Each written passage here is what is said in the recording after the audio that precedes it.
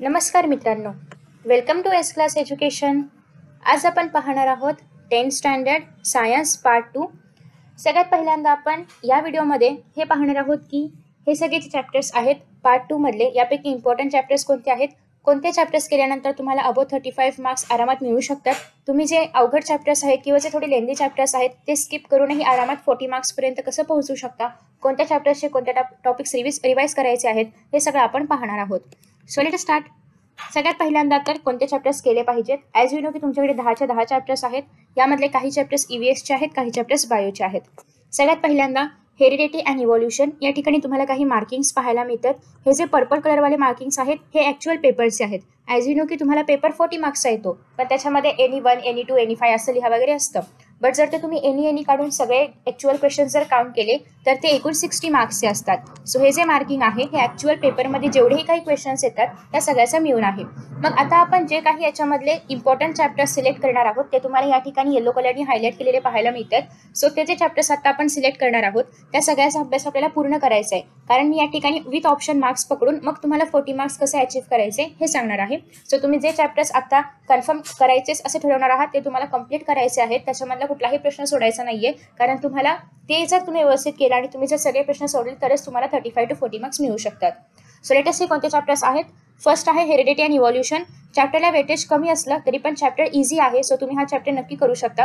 याच्यामध्ये जास्त काही अवघड नाहीये. कोणत्या गोष्टी करायच्या आहेत हे आपण याच व्हिडिओमध्ये शेवटी हळूहळू पाहणार आहोत.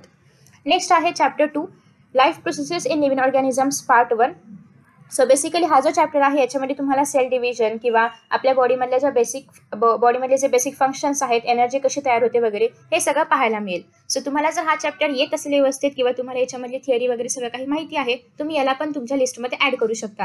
हे मी काही कॉमन चॅप्टर सांगणार आहे. याच्यामधले तुम्हाला जे येत असतील तुम्ही ते घ्यायचे आहेत. जे नसतील तुम्ही ते कट आउट करू शकता. बेसिकली मी या ठिकाणी सगळ्यांसाठी असं कॉमन सांगते. ओके सगळ्यात पहिल्यांदा आपण हेरिडिटी घेतलेला आहे फाईव्ह मार्क्सचा नेक्स्ट आता आपण पाहूया थर्ड चॅप्टर थर्ड चॅप्टरमध्ये सगळं रिप्रोडक्शन सिस्टम्सवरती आधारित आहे. सो तो चॅप्टर बऱ्याच जणांना अवघड वाटतो. तुम्हाला येत असेल तुम्ही तो पण याच्यामध्ये कन्सिडर करू शकता. नेक्स्ट आता आपण जो करणार करणारा चॅप्टर आहोत तर तो म्हणजे आहे एन्व्हायरमेंटल मॅनेजमेंट एन्व्हायरमेंटल मॅनेजमेंट खूप इझी आहे. ई व्ही एसमध्ये येणारा हा चॅप्टर आहे. याच्यामध्ये काही पाठ वगैरे करायची गरज नाही आहे तर बेसिकली याच्यामध्ये तुम्हाला सगळ्या मनाने पण लिहिता येईल. ऑब्वियसली तुम्हाला सगळ्यांना माहिती आहे की एन्व्हायरमेंट काय आहे का कन्झर्व केलं पाहिजे बायोडायव्हर्सिटी काय आहे कोणते ऑर्गॅनिझम्स याच्यामध्ये येतात.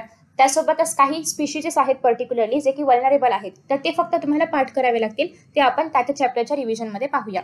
सो हे झाले याच्यामध्ये आपण ॲड करणार आहोत सेवन मार्क्स कोणाचे? एन्व्हायरमेंटल मॅनेजमेंटचे नेक्स्ट आहे पुढचा चॅप्टर जो की आहे टुवर्ड्स ग्रीन एनर्जी अगेन हा पण ईव्हीएस मधला खूप सोपा आणि खूप छान छोटासा चॅप्टर आहे. याच्यामधलं तुम्हाला जर पाहिलं तर सोलार सेल हा. सोलार सेल हा टॉपिक पूर्ण रिड्यूस केलेला आहे. त्याच्यामध्ये सगळे न्युमारिकल्स पण रिड्यूस झालेत. सो या चॅप्टरमध्ये आता जास्त अवघड असं काहीच नाहीये. बेसिकली तुम्हाला काय करायचं आहे या चॅप्टरमधलं की सोर्सेस काय आहेत? त्याच्यापासून कोणत्या प्रकारची एनर्जी तयार होते आणि ती कशी तयार होते? कशी तयार होते याची प्रोसेस तर एक ठरलेली आहे ती सगळ्या ठिकाणी बेसिक प्रोसेस तीच फॉलो केली जाते. फक्त तुम्हाला सोर्स लक्षात ठेवायचा आहे आणि ती एन्व्हायरमेंटला पूरक एनर्जी आहे की एन्व्हायरमेंटला हार्म हार्मफुल आहे हे तुम्हाला त्याच्यामध्ये माहिती असलं पाहिजे आणि त्याच्यावरती एनर्जी तयार करण्याचे किंवा एनर्जी सोर्सेसचे काही प्रकार पडतात ते आपण रिव्हिजनमध्ये पाहूया. सो याला पण आपण ऍड करणार आहोत कारण हा पण खूप इझी चॅप्टर आहे. याच्यामध्ये प्रश्न पण इझी इझी येतात. नेक्स्ट आहे ते म्हणजे ॲनिमल क्लासिफिकेशन ॲनिमल क्लासिफिकेशनमध्ये बऱ्याच जणांना फायलम्सची नावं किंवा त्यांचे कॅरेक्टर्स पाठ करायला अडचण होते. तर बेसिकली आपण असे काही फायलम्स पाहणार म्हणजे असे काही कॅरेक्टर्स पाहणार आहोत की जे तुम्ही सेम टू सेम कॅरेक्टर्स बऱ्याच ठिकाणी वापरू शकता. सो तुम्हाला जर हा चॅप्टर पहिल्यापासून येत असेल वेल अँड गुड आपण त्याच्यामध्ये थोडीशी रिव्हिजन करूया. जर तुम्हाला हा चॅप्टर अवघड वाटत असेल तर मात्र तुम्हाला हे जे उरलेले चॅप्टर्स आहेत म्हणजे life process part one part two किंवा मायक्रोबायोलॉजी बायोटेक्नॉलॉजी यामधला कुठला तरी एक चॅप्टर तुम्हाला कन्सिडर करावं लागेल. ओके आता आपण थर्टी फाईव्ह मार्क्सपर्यंत पाहतोय. पुढचं मी तुम्हाला सांगतेस सो नेक्स्ट आहे सोशल हेल्थ अगेन हा पण खूप सिंपल खूप छान क्यूट असा चॅप्टर आहे. की याच्यामध्ये पण तुम्हाला काही पाठ वगैरे करायची गरज नाही आहे तुम्ही इझिली याची उत्तरे लिहू शकता अगदी मनाने लिहू शकता. कारण तुम्हाला याच्यामध्ये डिझास्टर कुठलाही सॉरी डिझास्टर नाही. याच्यामध्ये तुम्हाला काय येऊ शकतं की एखादं एखादा मुलगा आहे जो की खूप जास्त मोबाईल बघत आहे जेवताना वगैरे तर तुम्ही त्याचे ते बरोबर आहे का तुमच्या मते? ते लिहायचं आहे. त्याच्यावर काय इफेक्ट्स होऊ शकतात ते लिहायचं आहे. त्याला ते अवॉइड करण्यासाठी म्हणजे त्याला सपोज सांगायचं आहे की तू हे अवॉइड करतो हे असं करू नको तर तुम्ही ते कसं सांगाल? किंवा एखादा टीनेज ग्रुपमधला एखादा व्यक्ती आहे किंवा एखादा टीनेजर आहे तर तुम्हाला त्याला सांगायचं आहे की एखादा तो कुठल्या तरी वाईट सवयीला लागला असेल तर तुम्ही त्याच्या त्याला त्याच्यामधून बाहेर कसं काढ काढाल त्याच्या फॅमिलीशी बोलाल पेरेंट्ससोबत बोलाल त्याला त्याचे दुष्परिणाम वगैरे सांगाल. सो हे बेसिकली तुम्हाला याच्यामध्ये सांगायचं आहे. ओके ते पण आपण पाहूया. नेक्स्ट आहे ते म्हणजे डिझास्टर मॅनेजमेंट अगेन डिझास्टर मॅनेजमेंटमध्ये तुम्हाला काय काय येऊ शकतं? तर जे काही डिझास्टर्स आहेत त्या सगळ्या डिझास्टरवरती तुम्हाला थोडक्यात लिहिता आलं पाहिजे. म्हणजे बेसिकली तुम्हाला त्या डिझास्टरबद्दल सपोज आलं अर्थक्वेक तर त्याचे प्रिव्हेंटेटिव्ह मेजर्स काय आहेत? प्रिकॉशन्स काय आहेत? आणि त्याचे इफेक्ट्स काय आहेत? बस तुम्हाला डायजेस्टमध्ये एक चार्ट पाहायला मिळेल शेवटी. प्रत्येक डिझास्टरवरती मॅनमेड असो किंवा नॅचरल डिझास्टर असो प्रत्येकावरती त्यांनी काहीतरी सांगितलेलं आहे. प्रिव्हेंटेटिव्ह मेजर्स कोणते आहेत? प्रिकॉशन्स कोणते आहेत? तर तुम्ही फक्त ते जरी लक्ष ठेवलं तरी पण पुरेसं आहे. त्यासोबतच तुम्हाला शेवटी काही सिम्बॉल्स पाहायला मिळतात या चॅप्टरच्या शेवटी. तर ते सिम्बॉल्स पण अतिशय महत्त्वाचे आहेत. कारण ते डिफाईन वगैरे करा असं पण येऊ शकतं. ओके सो बेसिकली जेव्हा तुम्ही हे एक दोन तीन चार पाच एक दोन तीन चार पाच सहा सहा चॅप्टर्स जेव्हा करणार आहात तेव्हा तुम्हाला या ठिकाणी आरामात थर्टी फाईव्ह मार्क्स मिळू शकतात.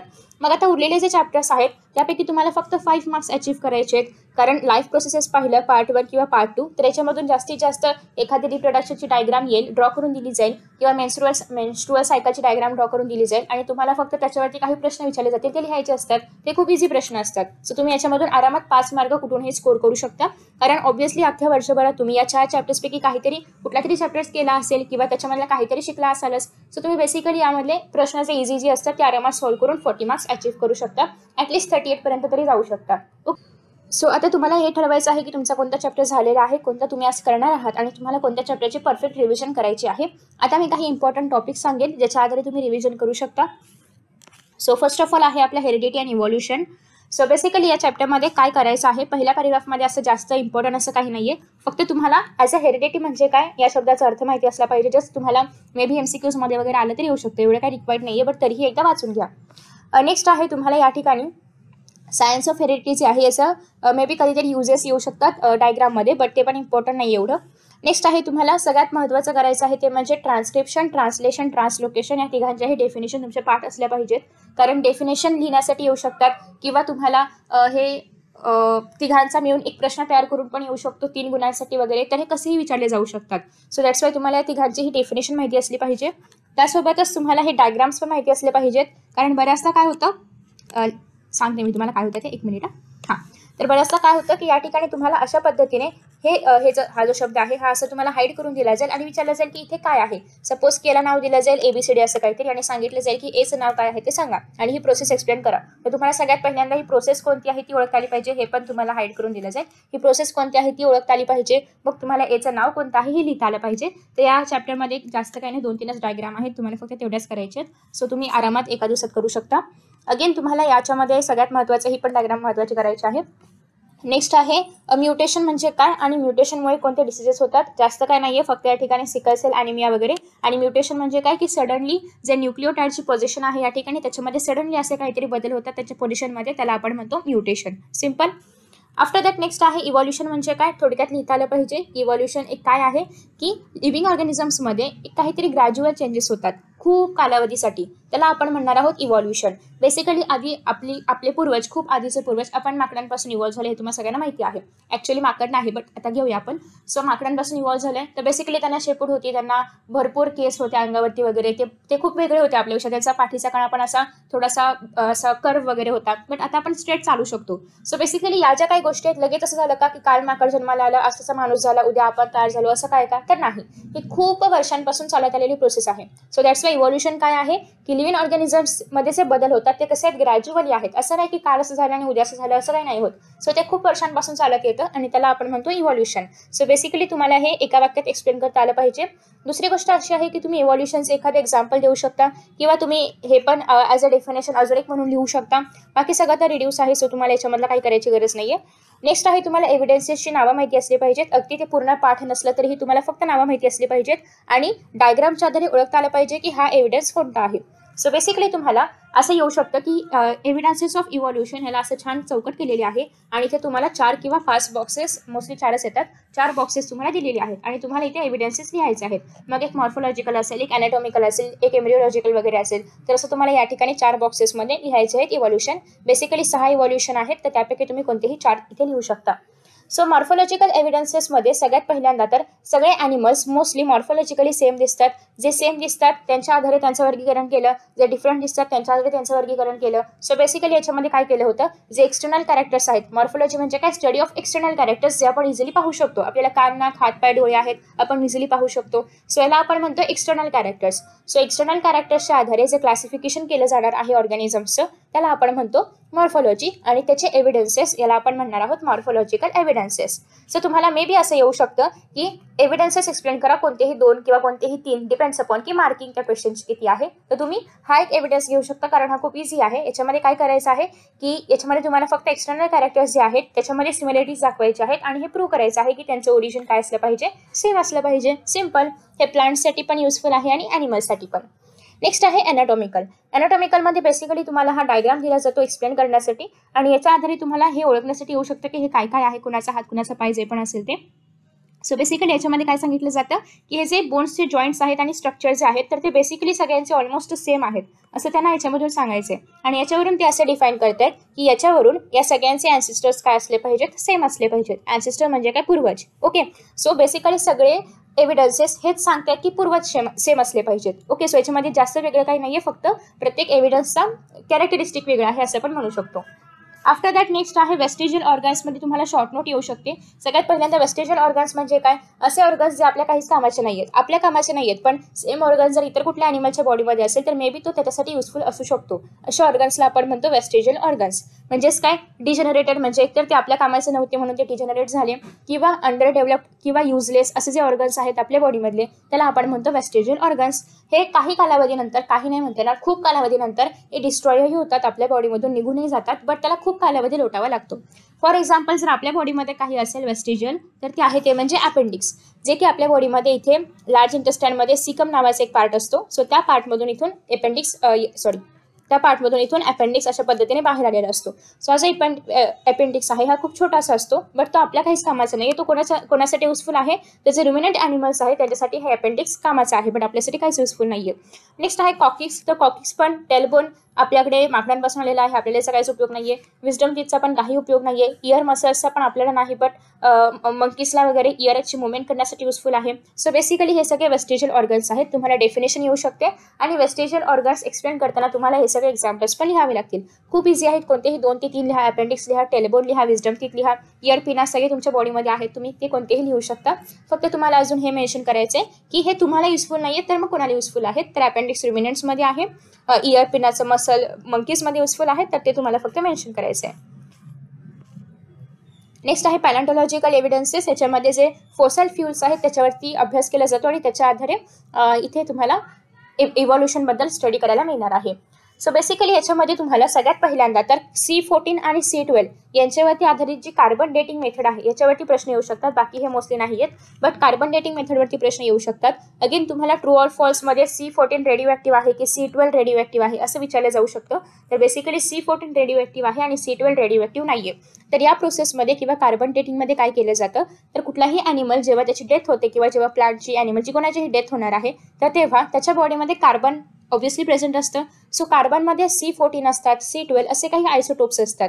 सो बेसिकली जो सी फोर्टीन आहे तो खूप रेडिओ ॲक्टिव्ह आहे आणि सी ट्वेल्व रेडिओ ॲक्टिव्ह नाही आहे सो सी फोर्टीन आणि सी ट्वेल्व यांचा बॉडीमधला जो रेशो आहे त्या पर्टिक्युलर ॲनिमल किंवा प्लांटच्या तर त्या रेशोच्या आधारे तो प्लांट किती वर्षांपूर्वी असेल किंवा त्याचं एज काय असेल हे डिफाईन केलं जाऊ शकतं with the help of carbon dating method यालाच आपण म्हणतो carbon dating method okay so basically ही तुम्हाला मेथड विचारली जाऊ शकते. बाकी याच्यामध्ये हे असं एवढं मोठं मोठं काही विचारलं जात नाही. नेक्स्ट आहे कलेक्ट कनेक्टिंग लिंकमध्ये सगळ्यात महत्त्वाचे एक्झाम्पल्स असे आहेत की तुम्हाला पेरिपॅटस कोणामधलं कनेक्टिंग लिंक आहे? तर ॲनेलिडा आणि अर्थ्रोपोडा यांच्यामधला आहे. आणि पेरिपेटसला आपण कनेक्टिंग लिंक का म्हणतो? कारण पेरिपेटसमध्ये असे काही कॅरेक्टर्स आहेत की जे अर्धे ॲनेलिडासोबत रिसेंबल करतात आणि अर्धे अर्थपोडासोबत रिसेंबल करतात. मग ते कोणते कॅरेक्टर्स आहेत ते तुम्हाला खाली मेन्शन करायचे आणि संपलं उत्तर एवढंच लिहायचं एक तर सगळ्यात पहिल्यांदा हे सांगायचं की पेरिपेटसमधले कॅरेक्टर्स ॲनेलिडा आणि अर्थोपोडसोबत रिसेंबल करतात. मग ॲनेलिडासोबत रिसेंबल करणारे कॅरेक्टर्स कोणते आहेत आणि अर्थोपोडसोबत कोणते आहेत? हे तुम्हाला लिहायचे आणि आरामात तीन ते चार पॉईंट्स तयार होतात आणि या ठिकाणी तुमचं गिव्ह संपतं. ओके बेसिकली हे गिव्ह खूप महत्त्वाचं आहे. हे तुम्हाला बऱ्याचशा प्रॅक्टिस पेपर्समध्ये पण पाहायला मिळेल आणि हे खरंच इम्पॉर्टंट पण आहे. नेक्स्ट आहे तुम्हाला शक्यता शक्यतो जर तुम्हाला वेळ असेल किंवा जर तुम्हाला आठवत असेल तर तुम्ही हे उत्तर लिहिण्याआधी कनेक्टिंग लिंक म्हणजे काय आहे हे पण एक्सप्लेन करू शकता. ते तसं जरुरी नाही आहे पण तुमचा एक पॉईंट वाढेल आणि तुम्हाला काहीतरी एक्स्ट्रा माहिती आहे हे पण परीक्षकांना कळेल. ओके सो बेसिकली तुम्हाला जर तुम्हाला जर कनेक्टिंग लिंक म्हणजे काय हेच माहिती नसेल तर तुम्ही उत्तर कसं लिहिणार? सो तुम्ही उत्तर लिहून हे सांगताय की हा मला माहिती आहे कनेक्टिंग कनेक्टिंग लिंक म्हणजे काय आणि मग खाली उत्तर लिहू शकता. ओके नेक्स्ट आहे ते म्हणजे अगेन तुम्हाला हे पण विचारलं जाऊ शकतं की डगबेल प्लॅटी प्लस कोणामधलं कनेक्टिंग लिंक आहे रेप्टायल्समधलं आहे कोणामधलं आहे कसं आहे ते सगळं विचारलं जाऊ शकतं. सो तुम्हाला फक्त हे दोन एक्झाम्पल्स लक्षात ठेवायचे एम्ब्रिओलॉजिकलमध्ये जास्त काही नाही विचारलं जात. फक्त एवढंच लक्षात ठेवा की एम्ब्रिओलॉजिकलमध्ये सगळ्या जे सगळे जे वर्टिब्रेट्स आहेत त्या सगळ्यांचा एम्ब्रिओ सिमिलर दिसतो. सो याच्या आधारे असं आपण सपोज करतो की सगळे जे वर्टिब्रेट्स आहेत ते त्यांचं एन्सेस्टर कॉमन आहे. ओके बाकी जास्त याच्यामध्ये काही नाही आहेत नेक्स्ट आहे डार्विन्स थिअरी तुम्हाला जो क्वेश्चन नंबर टू आहे त्याच्यामध्ये विचारलं जाऊ शकतं. तर बेसिकली डार्विन्स थिअरीमध्ये तुम्हाला लक्षात ठेवायचं आहे की डार्विन यांनी एक बुक लिहिलं होतं ज्याचं नाव आहे ओरिजिन ऑफ स्पीशीज त्यांचं एक छोटीशी थिअरी होती. त्याचा अर्थ आहे की जे लोक स्वतः काय म्हणतो आपण त्याला कष्ट करणार जगण्यासाठी तेच फक्त जगू शकतात. So basically survival of the fittest ही त्यांची एक थिअरी होती. सो त्याच्या आधारे त्याच्यावरती त्यांनी हे पुस्तक लिहिलेलं आहे. दुसरी गोष्ट अशी की त्यांच्या थिअरीमधले काही मेन ऑब्जेक्शन्स होते. एक तर त्यांनी कोणते म्हणजे नॅचरल सिलेक्शन हाच फक्त एक फॅक्टर आहे इव्हॉल्युशनसाठी वगैरे. असं पण पूर्णतः त्यांनी त्याच्यामध्ये सांगितलं होतं बट ते पूर्ण व्यवस्थित डिफाईन होतं केलं. नेक्स्ट आहे की डार्विन यांनी त्यांनी सांगितलं होतं की कॅरेक्टर स्वतःला या पृथ्वी तलावरती सर्व्हाइव्ह करण्यासाठी वगैरे स्वतःमध्ये काहीतरी मॉडिफिकेशन्स करतात. पण त्याच्यामध्ये असं पण होऊ शकतं की कधी कधी ते मॉडिफिकेशन युजफुल असतात कधी युजलेस असतात. सो त्यांनी या मॉडिफिकेशन्सबद्दल काहीच नाही सांगितलं. नेक्स्ट आहे की त्यांनी काही ठिकाणी इव्होल्युशनमध्ये स्लो चेंजेस होतात काही ठिकाणी खूप फास्ट चेंजेस होतात. तर बेसिकली या चेंजेस स्लो फास्ट या चेंजेसबद्दल पण त्यांनी नव्हतं सांगितलं. सो हे तीनच फक्त ड्रॉबॅक्स होते. नेक्स्ट आहे लेमार्किझम लेमार्किझममध्ये बेसिकली हे सांगितलं होतं की ॲनिमल्स जे कॅरेक्टर एक्वायर करणार आहेत ते कॅरेक्टर्स पुढच्या पिढीमध्ये ट्रान्समिट केले जातात.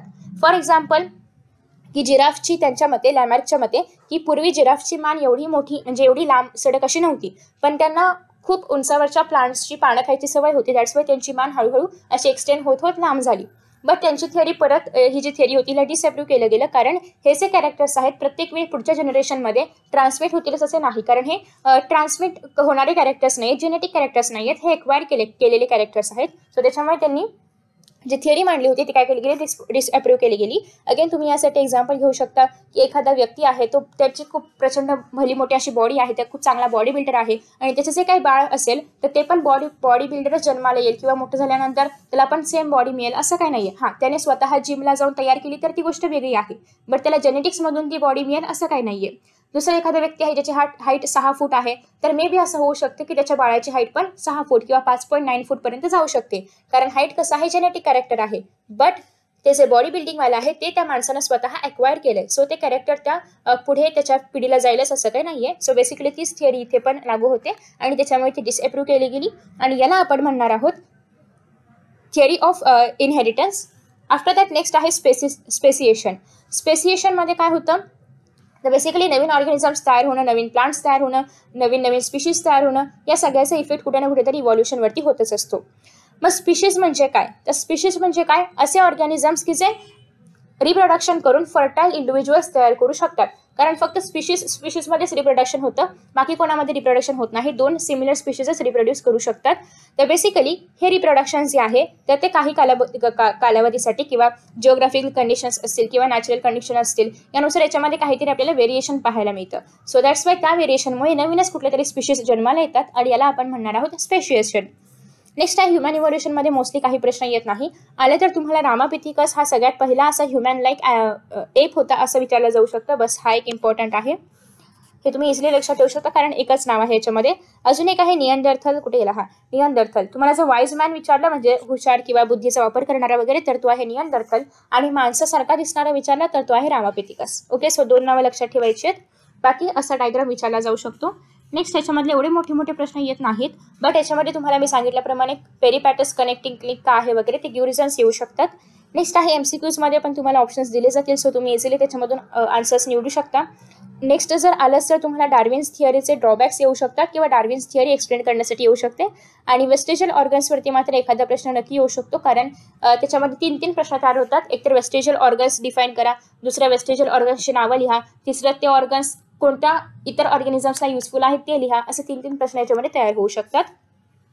बाकी एवढे मोठे मोठे प्रश्न तुम्ही लास्ट मुमेंटला नाही केले तरी पण चालतील. आफ्टर दॅट नेक्स्ट आहे life processes in living organisms part one जे लोक हा चॅप्टर स्किप करणार आहेत ते व्हिडिओ पण स्किप करू शकतात. ज्यांना हा चॅप्टर करायचा आहे तेच पाहू शकतात. सगळ्यात पहिल्यांदा तर या चॅप्टरमध्ये तुम्हाला एक एम सी क्यू लक्षात ठेवायचा आहे की कार्बोहायड्रेट्सपासून आपल्याला four kilo calorie energy per gram मिळते. आफ्टर दॅट नेक्स्ट आहे रेस्पिरेशन दोन प्रकारे होतं सेल्युलर रेस्पिरेशन आणि एक्स्ट इंटर म्हणजे सेलच्या आतमध्ये होणारं रेस्पिरेशन आणि बॉडी लेवलचं रेस्पिरेशन सो बेसिकली आता आपण सेल्युलर रेस्पिरेशन पाहणार आहोत.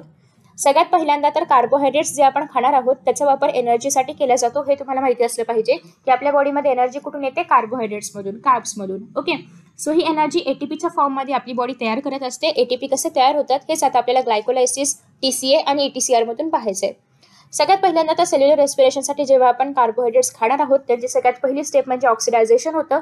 ऑक्सिडायझेशन कुठे होणार आहे? ते तुम्हाला विचारलं जाऊ शकतं. तर ते होतं सायटोप्लाझममध्ये सो ऑक्सिडायझेशन होणं ग्लुकोजचं ऑक्सिडायझेशन होणं यालाच आपण म्हणतो ग्लायकोलायसिस आणि ग्लायकोलायसिस कुठे होते? सायटोप्लाझममध्ये होते. हे पण तुम्हाला एम किंवा उत्तर लेखनामध्ये पण ग्लायकोलायसिस डिफाईन करा वगैरे आलं तर येऊ शकतं कारण हे खूप छोटंसं आहे. ओके सो सायटोप्लाझममध्ये सगळ्यात पहिल्यांदा ग्लायकोलायसिस होतं. याच्यामध्ये काय केलं जातं? तर एक ग्लुकोजचा मॉलिक्यूल ऑक्सिडाईज केला जातो. कसा? स्टेप बाय स्टेपमध्ये लगेच ऑक्सिडाईज होत नाही. स्टेप बाय स्टेपमध्ये ऑक्सिडाईज होतो. आणि त्यापासून आपल्याला काय काय मिळतं? Two molecules of pyruvic acid मिळतं. Two molecules of A T P मिळतं two molecules of N A D H two मिळतं आणि टू मॉलिक्युल्स ऑफ वॉटर मिळतं. अगेन याच्यामध्ये काहीच अवघड नाही खूप इझी आहे. दोन मॉलिक्युल्स मिळतात पायरुविक ॲसिडचे दोन मॉलिक्युल्स मिळतात ए टी पीचे दोन मॉलिक्युल्स मिळतात एन ए डी एच टूचे आणि दोन मॉलिक्युल्स मिळतात वॉटरचे ओके याला आपण काय म्हणतो? ग्लायकोलायसिस आता हे जे दोन मॉलिक्युल्स मिळालेले आहेत कोणाचे? पायरुविक ॲसिडचे हे दोन मॉलिक्युल्स कन्वर्ट होतात कशामध्ये? ॲसेटाल कोएन्झाईम ए याला आपण लिंक रिॲक्शन असं म्हणतो ते तुम्हाला नाही दिले असं सोडून द्या. बट ॲसिटल कोएन्झाईम एमध्ये या दोन पायरुविक ॲसिड्सच्या मॉलिक्युलचं कन्व्हर्जन होतं. ॲसिटल कोएन्झाईम ए तयार झाल्यानंतर ॲसिटल कोएन्झाईम ए तयार झाल्यानंतर याच्यामधून आपल्याला दोन molecules of N D two मिळतात दोन मॉलिक्युल्स ऑफ कार्बन डायऑक्साईड मिळतात. बस एवढे या ठिकाणी रिलीज होतं. आफ्टर दॅट नेक्स्ट आहे आता हे जे ॲसिटल कोएन्झाईम ए आहे हे कुठे कुठं होतं? कुठे तयार झालं हे? येस सायटोप्लाझममध्ये आता ते सायटोप्लाझममधून कुठे येतं? मायटोकॉन्ड्रियामध्ये ये शिफ्टिंग नवीन जागा. नवीन जागा आहे मायटोकॉन्ड्रिया आता हे आलं मायटोकॉन्ड्रियामध्ये आता इथून पुढे सगळं काही मायटोकॉन्ड्रियामध्येच होणार आहे. सो तुम्हाला दोनच फक्त लक्षात ठेवायचे. एक तर पहिलं आहे ते म्हणजे सायटोप्लाझम आणि दुसरं आहे ते म्हणजे मायटोकॉन्ड्रिया ओके सिंपल सो सगळ्यात पहिल्यांदा मायटोकॉन्ड्रियामध्ये आल्यानंतर इथे एक चेन रिॲक्शन असते. सायकलिक चेन रिॲक्शन असते. सगळ्यात पहिला प्रोडक्ट या ठिकाणी सिट्रिक ॲसिड तयार होतो. दॅट्स वाय याला आपण टी सी ए सायकल असं म्हणतो. तुम्हाला असं पण विचारलं जातं की याला सिट्रिक ॲसिड सायकल का म्हणतात? किंवा याला ट्रायकार्बोक्सिलिक ॲसिड सायकल का म्हणतात? किंवा याला क्रेब्ज सायकल का म्हणतात? क्रेब्ज सायकल यासाठी म्हणतात कारण हन्स क्रेब नावाच्या सायंटिस्टने शोध लावला होता. सिट्रिक ॲसिड सायकल यासाठी म्हणतात कारण याच्यामधून जो पहिला प्रोडक्ट तयार होतो तो असतो सिट्रिक ॲसिड आणि ही जी सायकलिक प्रोसेस आहे दॅट्स वाय याला आपण ट्रायकार्बोक्सिलिक ॲसिड सायकल असं म्हणतो. की या ठिकाणी तीन कार्बोक्सिल ॲसिड तयार होतात. सो याच्यामध्ये काय काय होतं? ॲसिटल कोएन्झाईम ए जो एंटर झालेला आहे आतमध्ये तर याच्यामधला जो ॲसिटल पार्ट आहे तो काय होतो? कम्प्लिटली ऑक्सिडाईज होतो. कम्प्लिटली ऑक्सिडाईज होतो. ओके सो ॲसिटल पार्ट काय होतो? कम्प्लिटली ऑक्सिडाईज होतो. आणि त्याच्यामुळे इथून आपल्याला काही प्रोडक्ट्स मिळतात. That is carbon dioxide water same water तर येणारच आहे खाली. N A D H two पण येणार आहे. आणि अजून एक नवीन मॉलिक्यूल म्हणजे F A D H two पण इथून तयार होतो. आता हे जे सगळे N A D H two आणि F A D H two आहेत ते कुठे आहेत? मायटोकॉन्ड्रियामध्येच आहेत. बट आता इथून दुसरी प्रोसेस सुरू होते. ती म्हणजे electron transfer chain reaction so basically तुम्हाला याच्यामध्ये फक्त एवढंच लक्ष ठेवायचं आहे. या या रिॲक्शनमध्ये म्हणजे ई टी सी आरमध्ये तीन मॉलिक्युल्स तयार होतात N A D H two पासून आणि दोन molecules of A T P तयार होणार आहे F A D H two पासून. बाकी सगळं विसरा पण हे मात्र लक्षात ठेवा की N A D H two पासून तीन molecules of A T P तयार होते म्हणजे तीन मॉलिक्युल्स एनर्जी तयार होते आणि एफ ए डी एच टूमध्ये two molecules of A T P तयार होणार आहे. आणि बाकी मग ॲट दी एंड तुम्हाला कार्बन डायऑक्साईड वॉटर एनर्जी मिळणारच आहे. सो बेसिकली हे दोन खूप महत्त्वाचं आहे. अगेन तुम्हाला नेम द फॉलोविंगमध्ये नेम एनी टू कोएन्झेम्स येऊ शकतं. तर हे दोन आहेत आपले कोएन्झेम्स यांची नावं लक्षात ठेवायची आहेत. आफ्टर दॅट ए टी पीचा फुल फॉर्म वगैरे विचारला जाऊ शकला असता बट रिड्यूस झालेला आहे त्याच्यामुळे नाही विचारणार. आता कधी कधी असं होतं की आपण फास्टिंगवरती वगैरे असतो सो आपल्या बॉडीमध्ये कार्बोहायड्रेट्स जात नाहीत. मग तेव्हा काय होतं की आपली बॉडी जे पण बॉडीमध्ये फॅटी ॲसिड्स किंवा आपल्या बॉडीमध्ये जे प्रोटीन्स वगैरे आहेत त्याचा वापर करून एनर्जी तयार करते. सो फॅटी ॲसिड्स म्हणजेच काय? फॅटी ॲसिड्स प्लस अल्कोहोल आपल्या बॉडीमधलं जर ॲड झालं तर त्याच्यापासून लिपिड्स तयार होतं. सो बेसिकली आपली बॉडी लिपिड्स आणि प्रोटीन्स यांचा वापर करून मग अशा कालावधीमध्ये एनर्जी तयार करते. सो तुम्हाला याच्यावरती पण जस्ट ऐकून घ्या पाठ वगैरे करायची गरज नाही कारण तुम्ही हे आरामात मनाने लिहू शकता. सो बेसिकली जेव्हा फास्टिंग किंवा तुम्ही खूप हंगरी असाल खूप दिवस झालं काही खाल्लं नाही आहे दोन तीन दिवस झालं तर त्या दोन तीन दिवसामध्ये तुम्हाला जिवंत ठेवण्यासाठी किंवा तुम्हाला एनर्जी देण्यासाठी तुमच्या प्रत्येक ऑर्गनला तर त्यासाठी लिपिड्स आणि प्रोटीन्सचा उपयोग तुमची बॉडी करत असते.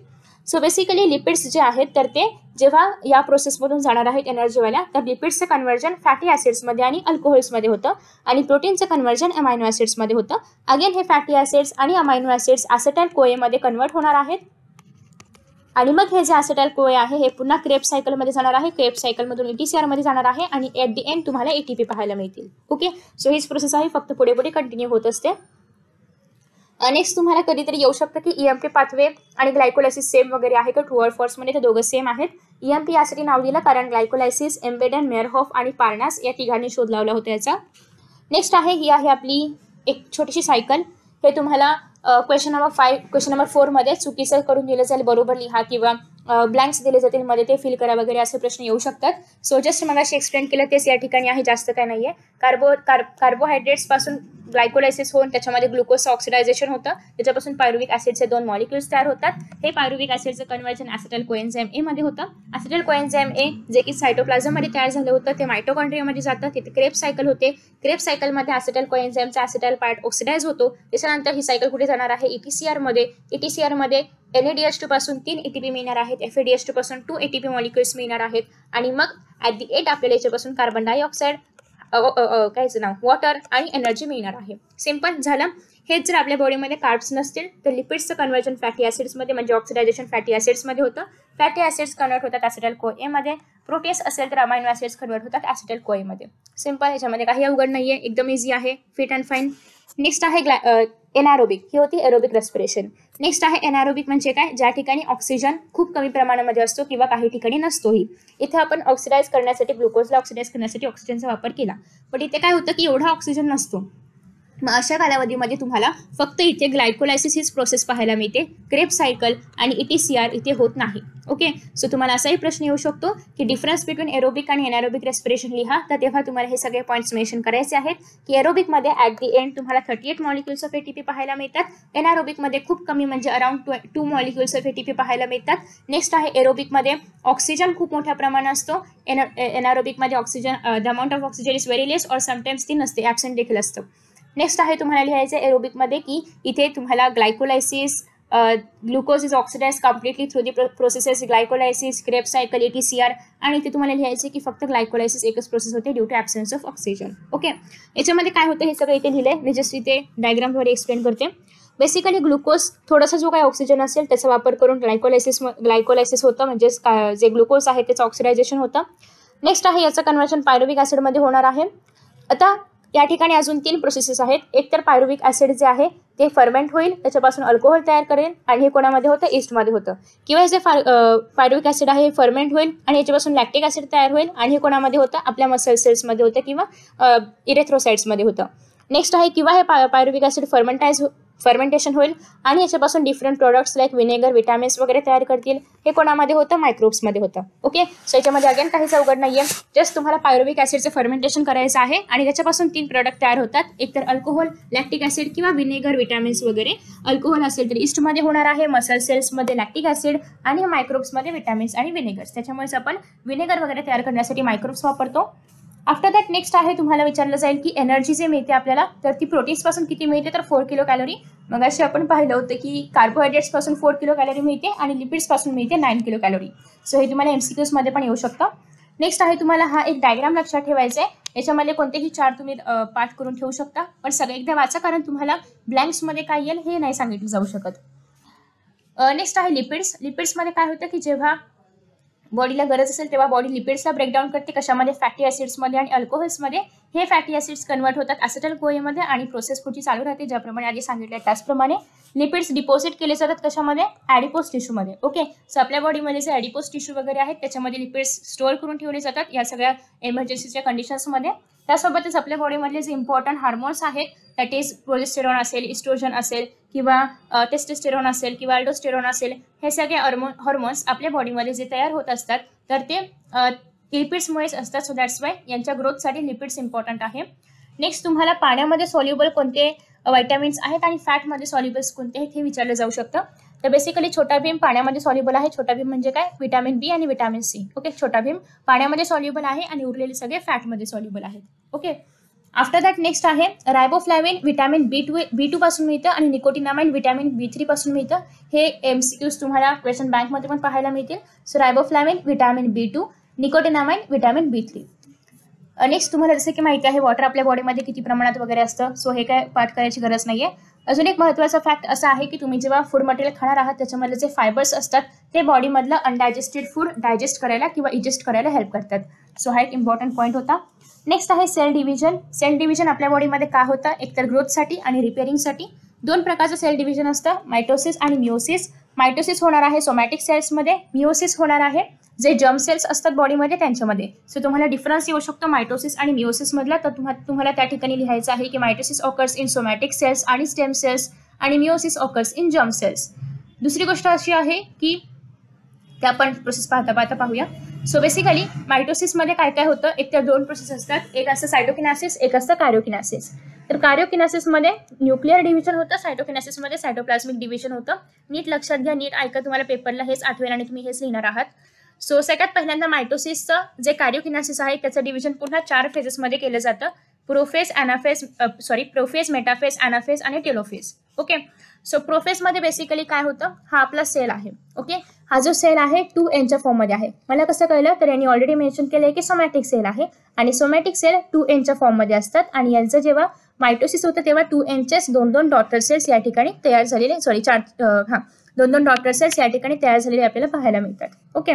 सो बेसिकली याच्यामध्ये जे क्रोमोझोम्स आहेत ते पहिल्या फेजमध्ये कंडेन्स होतात कारण ते आधी थ्रेड लाईक असतात. सो पहिल्या फेजमध्ये ते कंडेन्स होणार आहेत. सोबतच सिस्टर क्रोमॅटिड्स म्हणजे या दोघी बहिणी बहिणी अशा त्या येणार आहेत. आणि त्याच्यानंतर ते याच्यामध्ये जे सेंट्रिओल्स असतात ते अपोजिट पोलला जाणार आहेत. ओके सो बेसिकली एवढंच फक्त याच्यामध्ये होतं. अगेन याच्यामध्ये जो न्यूक्लियस आहे आपला हा आणि याचं जे न्यूक्लियस मेम्ब्रान आहे ते डिसेपियर होतं. ओके सो ही झाली आपली पहिली प्रोसेस मेटाफेसमध्ये सगळ्यात महत्त्वाचं म्हणजे जे स्पिंडल फायबर्स आहेत तर ते या ठिकाणी आपल्याला पाहायला मिळतात. सो स्पिंडल फायबर्स ही सगळ्यात महत्त्वाची गोष्ट आहे मेटाफेजमधली आणि जे आपले क्रोमोझोम्स आहेत तर त्या अशा पद्धतीने इक्वेटोरियल प्लेनवरती पॅरलेली अरेंज होतात. सो दोनच गोष्टी आहेत त्याच्यामध्ये एकतर क्रोमोझोम्स अरेंज होणार आहेत आणि स्पिंडल फायबर्स आपल्याला क्लिअरली पाहायला मिळतील. तिसरी गोष्ट आहे अॅनाफेस अॅनाफेसमध्ये हे जे क्रोमोझोम्स आहेत स्पिंडल फायबर या सिस्टर क्रोमॅटिसला सेपरेट करतात. ओ जुदा हो गए मुझसे. असं होणार आहे या ठिकाणी. आणि इथे काय होणार आहे मधून हे क्रोमोझोम्स सेपरेट होणार आहेत. सेपरेट झाल्यानंतर इथे तुम्हाला लास्ट स्टेप पाहायला मिळते ती म्हणजे टेलोफेस. टेलोफेसमध्ये काय होतं? की क्रोमोझोम सेपरेट झाले त्याच्यानंतर अशा पद्धतीने यांचं जे न्यूक्लियस मेम्ब्रान मगाशी डिसेपरेट झालं होतं प्रोफेसमध्ये तर ते रिॲपेर होणार आहे. क्रोमोझोम्स मगाशी प्रोफेसमध्ये कंडेन्स झाले होते. ते आता पुन्हा एकदा डिकंडेन्स होणार आहेत. सगळं जे न्यूक्लियस वगैरे आहे ते पुन्हा एकदा रि रिअपेअर होणार आहे. सो बेसिकली प्रोफेसच्या सगळं सगळं सगळं अपोजिट टेरोफेजमध्ये होतं. नेक्स्ट इथे आपलं कार्योकिनेसिस संपलं. आता नेक्स्ट आहे सायटोकिनासिस सायटोकिनासिसमध्ये काय होतं? की सेल एवढाच डिवाइड झाला ना हे अजून डिवाइड होणं बाकी आहे. अजून पूर्ण जुदा नाही झाली आहे सो हे डिवाइड होणं बाकी आहे. मग त्यासाठी इथे काय होणार आहे की हे डिवाइड करण्याचं काम कशामध्ये होणार आहे? सायटोप्लाझमिक डिव्हिजनमध्ये किंवा सायटोकिनासिसमध्ये आणि इथे हे डिवाइड झाल्यानंतर एक इथे नोच म्हणजे एक असं जेव्हा तुम्ही रबर असं ताणता तेव्हा तिथे कसं मध्ये एक टेन्शन तयार होतं. तर त्याचप्रमाणे या ठिकाणी पण टेन्शन तयार टेन्शन लागणार आहे किंवा टेन्शन तयार होणार आहे. आणि हे दोन सेल्स सेपरेट होणार आहेत आणि आपल्याला दोन डॉक्टर सेल्स पाहायला मिळतात.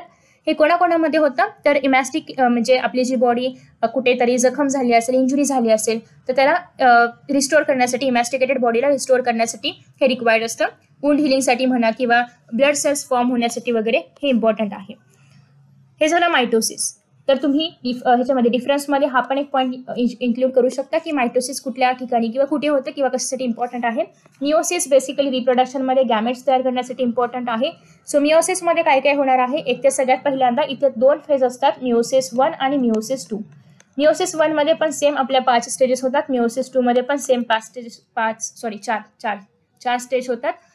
प्रोफेस ह्याच्यामधलं जे असतं मिओसिस वनमधलं ते पाच स्टेजेसचं असतं आणि मोठं असतं. याच्यामधले कोणते पाच स्टेज आहेत ते तुम्हाला टेक्स्टबुकमध्ये नाही दिलेत. सो ते करायची काहीच गरज नाही आहे डायजेस्टमध्ये वगैरे तुम्हाला हवं तर उत्तर मिळेल पण ते करायची गरज नाही आहे ही प्रोसेस पण नाही केली तरी पण चालेल. स्वतः वेळ नाहीये बट तुम्हाला मी ऑलरेडी एक्सप्लेन करून दिलेली आहे. ते व्हिडिओज तुम्ही चेकआउट करू शकता. बेसिकली तुम्ही जर या ठिकाणी पाहिलं तर एका सेलचं कन्व्हर्जन इथे चार सेल्समध्ये होणार आहे. हे सेल डिप्लॉइड असतं जे टू एनच्या फॉर्ममध्ये असतं. या ठिकाणी तुम्हाला याच्यामध्ये two two N pair of chromosomes पाहायला मिळतील आणि ते तुम्हाला एन पेअर ऑफ क्रोमोझोम्स पाहायला मिळतील. ओके सो हे असे चार सेल्स तयार होतात at the end of the meiosis two हे फक्त लक्षात ठेवा बाकी तुम्ही नाही केलं काही तरी पण चालेल. याच्यामुळे गॅमेट फॉर्म होतात क्रॉसेटिन ह्याच्यामध्ये स्टेजमध्ये आणि दॅट्स वाय तुम्हाला इथे रिकॉम्बिनेशन झाल्यानंतर दोन वेगवेगळ्या प्रकारचे ॲनिमल्स किंवा पॅरेंटपासून डॉटर किंवा सन वेगवेगळ्या डिफरंट दिसते हे पाहायला मिळतं. सो जेनेटिक व्हेरिएशन याच्यामुळे पाहायला मिळतं. याचं एक आन्सर आहे जे तुम्हाला टेक्स्टबुकमध्ये नाही पाहायला मिळणार की क्रॉसिंग ओव्हर जे आहे हां. Genetic recombination occurs in dash phase of meiosis one याचं उत्तर आहे ते म्हणजे पकाय pachytene P A C H Y T N E okay so याचं उत्तर आहे जे तुम्हाला टेक्स्टबुकमध्ये नाही पाहायला मिळणार पण एकदा नीट वाचून किंवा पाठ करून ठेवा. नेक्स्ट आहे डिस्टिंग्विशमध्ये मायटोसिस मिओसिसचा डिफरन्स आणि एरोबिक एनारोबिकचा डिफरन्स येऊ शकतो. बाकी टी सी ए ग्लायकोसिस एवढं इम्पॉर्टंट नाही आहे नेक्स्ट आहे याच्यामध्ये सेल डिव्हिजन काय इम्पॉर्टंट आहे? आणि फायबर्स जे आहेत आपल्या बॉडीमध्ये ते इम्पॉर्टंट न्यूट्रियंट्स का आहेत? आफ्टर दॅट ग्लायकोलिसिस वगैरे एक्सप्लेन करा. एवढे मोठे मोठे जे एक्झाम्पल्स किंवा क्वेश्चन्स आहेत ते नाही आहेत बट तुम्हाला हे लक्षात ठेवायचं आहे की इथे हा जो डायग्राम आहे अशा पद्धतीचे डायग्राम्स तुम्हाला येऊ शकतात. ओके पण तुम्ही जर इथे पाहिलं तर एक मिनिट एक मिनिट शोरी पुढे गेलं. हां ग्लायकोलायसिसमध्ये सगळ्यात पहिली जी आपली स्टेप आहे ॲक्च्युअल ग्लायकोलायसिसची तर ही मात्र कुठे होते आणि कशामध्ये होते किंवा ही काय होतं याच्यामध्ये हे विचारलं जाऊ शकतं. पूर्ण प्रोसेस नाही लिहायची गरज कारण एवढा मोठा प्रश्न नाही येणार. पण तुम्हाला जस्ट ते एक्सप्लेन करण्यासाठी येऊ शकतं की ग्लायकोलायसिस म्हणजे काय आणि ते कुठे होतं? सायटोप्लाझममध्ये होतं की मायटोकॉन्ड्रियामध्ये होतं? नेक्स्ट आहे थर्ड प्रोसेस ती म्हणजे आहे life processes sorry third chapter ती म्हण तो म्हणजे आहे life processes in living organisms part two याच्यामध्ये तुम्हाला असेक्शुअल आणि सेक्शुअल रिप्रोडक्शन पाहायला मिळेल. असेक्शुअल रिप्रोडक्शन म्हणजे काय? जिथे गॅमेट्स इन्क्लूड नसतात जिथे जी प्रोसेस आहे रिप्रोडक्शनची तर याच्यामध्ये पॅरेंट ऑर्गॅनिझम आणि डॉटर किंवा जे पण न्यू ऑर्गॅनिझम आहे न्यू जनरेशन आहे त्यात एकदम सेम टू सेम पाहायला मिळते. यांच्यामध्ये मायटोटिक सेल डिव्हिजन होतं. याच्यामध्ये कुठलेही गॅमेट्स नसतात. हे युनिपॅरेंटल आहे म्हणजे सिंगल पॅरेंटस याच्यामध्ये रिप्रोडक्शन करतो. आणि ड्रॉबॅक असा आहे की याच्यामध्ये ही जी प्रोसेस आहे याच्यामध्ये कुठेही जेनेटिक रिकॉम्बिनेशन होत नाही. दुसरी गोष्ट अशी आहे की ही खूप फास्ट प्रोसेस आहे. ओके सो तुम्हाला हे सगळे जे पॉईंट्स आहेत ते डिफरन्स बिटवीनमध्ये पण येऊ शकतात सेक्शुअल आणि असेक्शुअलमध्ये याच्या अपोजिट जर आपण पाहिलं तर सेक्शुअल रिप्रोडक्शनमध्ये गॅमेट्स रिक्वायर्ड असतात. याच्यामध्ये दोन पॅरेंट्स लागतात मेल पार्टनर आणि फिमेल पार्टनर त्यासोबतच याच्यामध्ये रिप्रोडक्शन झाल्यानंतर बेबी तयार व्हायला खूप जास्त वेळ लागतो सो ती स्लो प्रोसेस आहे. त्यासोबतच जेनेटिक रिकॉम्बिनेशन होतं त्याच्यामुळे जेनेटिक व्हेरिएशन पाहायला मिळतं. हे काही याच्या अपोजिट पॉईंट्स आहेत जे की तुम्हाला टेक्स्टबुकमध्ये फर्स्ट जो क्वेश्चन आहे आपला त्याच्यामध्ये पाहायला मिळतील. सो बेसिकली असेक्शुअल रिप्रोडक्शनमध्ये काय काय क्वेश्चन येऊ शकतात? एक तर सगळ्यात पहिला पॉईंट अमिबामध्ये कोणत्या प्रकारचं रिप्रोडक्शन होतं? तर सिंपल बायनरी नेक्स्ट आहे पॅरामेशियममध्ये कोणत्या प्रकारचं रिप्रोडक्शन होणार आहे? ट्रान्सफर्स बायनरी युग्लिनामध्ये लॉन्जिट्युडिनल बायनरी बस एवढं लक्षात ठेवायचं आहे नेक्स्ट आहे मल्टिपल फ्युजन कोणामध्ये होतं? अगेन अमिबामध्ये होतं. या ठिकाणी हे कुठे होतं? अनफेवरेबल कंडिशन्समध्ये होतं. वरचं कुठे होत होतं? फेवरेबल कंडिशन्समध्ये ओके सो हे तुम्हाला डायग्राम येऊ शकते ओळखण्यासाठी की हे काय आहे कुठली प्रोसेस आहे कोणामध्ये होते वगैरे. नेक्स्ट आहे बडिंगमध्ये काय होतं? तर बडिंगमध्ये बेसिकली ईस्टचं रिप्रोडक्शन होतं. ईस्ट काय आहे? युनिसिल्युलर फंगस हे पण तुम्हाला विचारलं जाऊ शकतं की युनिफॉ युनिसिल्युलर फंगसचं नाव लिहा. दॅट इज ईस्ट सो ईस्टमध्ये या ठिकाणी बल्जिंग होतं. सगळ्यात पहिल्यांदा न्यूक्लियस याच्यामध्ये एंटर करतं. न्यूक्लियस डिवाइड होतं आणि अशा पद्धतीने नवीन नवीन डॉटर ईस्ट तयार होतात. फ्रॅगमेंटेशन कोणामध्ये होतं? सायकॉनमध्ये आणि स्पायरोगॅरामध्ये होतं. रिजनरेशन कोणामध्ये होतं? प्लॅनेरियामध्ये होतं. तर बेसिकली अशा पद्धतीने हे ॲनिमल म्हणजे हे जे ही जी बॉडी आहे तर ती ब्रेकडाऊन होते आणि यापासून नवीन प्लॅनेरिया तयार होतात. नेक्स्ट आहे बडिंग कोणामध्ये होतं? हायड्रामध्ये. सो हे जे आहे मल्टीसेल्युलर आहे आणि हे जे आहे बडिंग आहे ते युनिसेल्युलर आहे. आफ्टर दॅट नेक्स्ट आहे व्हेजिटेटिव्ह प्रपोकेशन याच्यामध्ये तुम्हाला एक्झाम्पल्स विचारले जाऊ शकतात किंवा व्हेजिटेटिव्ह प्रपोकेशन एक्सप्लेन करण्यासाठी पण येऊ शकतं कारण हे इम्पॉर्टंट आहे. ओके स्पोर फॉर्मेशन रिड्युस्ड आहे. नेक्स्ट आहे सेक्शुअल रिप्रोडक्शन याच्यामध्ये गॅमेट फॉर्मेशन आणि फर्टिलायझेशन दोन स्टेप्स असतात. गॅमेट जे आहेत ते मिओसिसने तयार होतात मगाशी आपण पाहिलं. आणि याच्यामध्ये क्रोमोझोम नंबर हाफ होतो. कारण मगाशी सांगितलं होतं की सगळ्यात पहिल्यांदा मिओसिसमध्ये टू एन वाले सेल्स असतात आणि ते मिओसिसच्या एंडिंगपर्यंत एन एन म्हणजे हॅप्लॉइड होतात. सो या ठिकाणी क्रोमोझोम्स काय होणार आहेत? रिड्यूस होणार आहेत. फर्टिलायझेशनमध्ये male gamete female gamete fertilise होऊन त्यापासून झायगोट तयार होतं. झायगोटचं कन्व्हर्जन एम्ब्रिओमध्ये होतं. एम्ब्रिओचं कन्व्हर्जन नवीन नवीन बेबीमध्ये होतं. सेक्शुअल रिप्रोडक्शन इन प्लांट्समध्ये तुम्हाला ही डायग्राम ड्रॉ करण्यासाठी येऊ शकते कारण खूप इम्पॉर्टंट आहे. बेसिकली याच्यामध्ये तुम्हाला काही इम्पॉर्टंट पॉईंट्सच ड्रॉ करायचे सगळेच इम्पॉर्टंट आहेत तसेही सो तुम्हाला सगळे दाखवायचे आहेत. एक तर ॲझेलो की खाली डेट म्हणजे पेडिकल येतं. सॉरी पेडिसल येतं. नेक्स्ट आहे या ठिकाणी सेपल्स म्हणजे काय? त्याचे ग्रीन खाली आलेल्या पाकळ्या असतात त्याला आपण सेपल्स म्हणतो. आणि त्याचा एका ग्रुपला म्हणजे त्या खूप साऱ्या पाकळ्या मिळून कॅलिक्स तयार करतात. सो तुम्हाला याच्या मेंबर्सला काय म्हणतात हे पण येऊ शकतं. नेक्स्ट आहे ही जी पानं आहेत याला आपण पेटल्स म्हणतो त्यांच्या ग्रुपला आपण कोरोला म्हणतो. या ठिकाणी दोन हे जे फ्लावर आहे बायसेक्शुअल फ्लावर आहे हिबिस्कसचं सो याच्यामध्ये दोन्ही सिस्टम्स आपल्याला एकाच फ्लावरमध्ये पाहायला मिळतात अँड्रोशियम पण आणि गायनोशियम गायनोशियम फिमेल सिस्टीम आहे अँड्रोशियम मेल सिस्टीम आहे मेल रिप्रेझेंटेटिव्ह सिस्टीम आहे. तर मेल सिस्टीममध्ये काय काय येतं? हे जे आंथरचे पार्ट्स आहेत ते येतात. हे जे फिलामेंट आहे ते येतं. फिमेल सिस्टममध्ये काय होणार आहे इथे? सगळ्यात पहिल्यांदा तर वरती स्टिग्मा मग ही जी लॉंग ट्यूब आहे याला आपण स्टाईल म्हणतो. आणि या ठिकाणी खाली आहे ओव्हरी आता तुम्हाला इथे फिमेल सॉरी फिमेल नाही. हे जे रिप्रोडक्शन आहे बर्ड्स मध फ्लावरमधलं हे जे फ्लावरमधलं रिप्रोडक्शन आहे हे तुम्हाला इझिली खाली एक्सप्लेन केलेलं आहे ते पाहायला मिळेल. आता मी एकदम थोडक्यात एक्सप्लेन करणार आहे कारण आपल्याकडे तेवढा वेळ नाही. अजून आपल्याला सात चॅप्टर्स कंप्लीट करायचे आहेत. आणि मे बी बरेच जण व्हिडिओ सोडून गेले असतील कंटाळवाना वाटला असेल तर बट याच्यामध्ये रिव्हिजनमध्ये एवढंच करून दिलं जाऊ शकतं.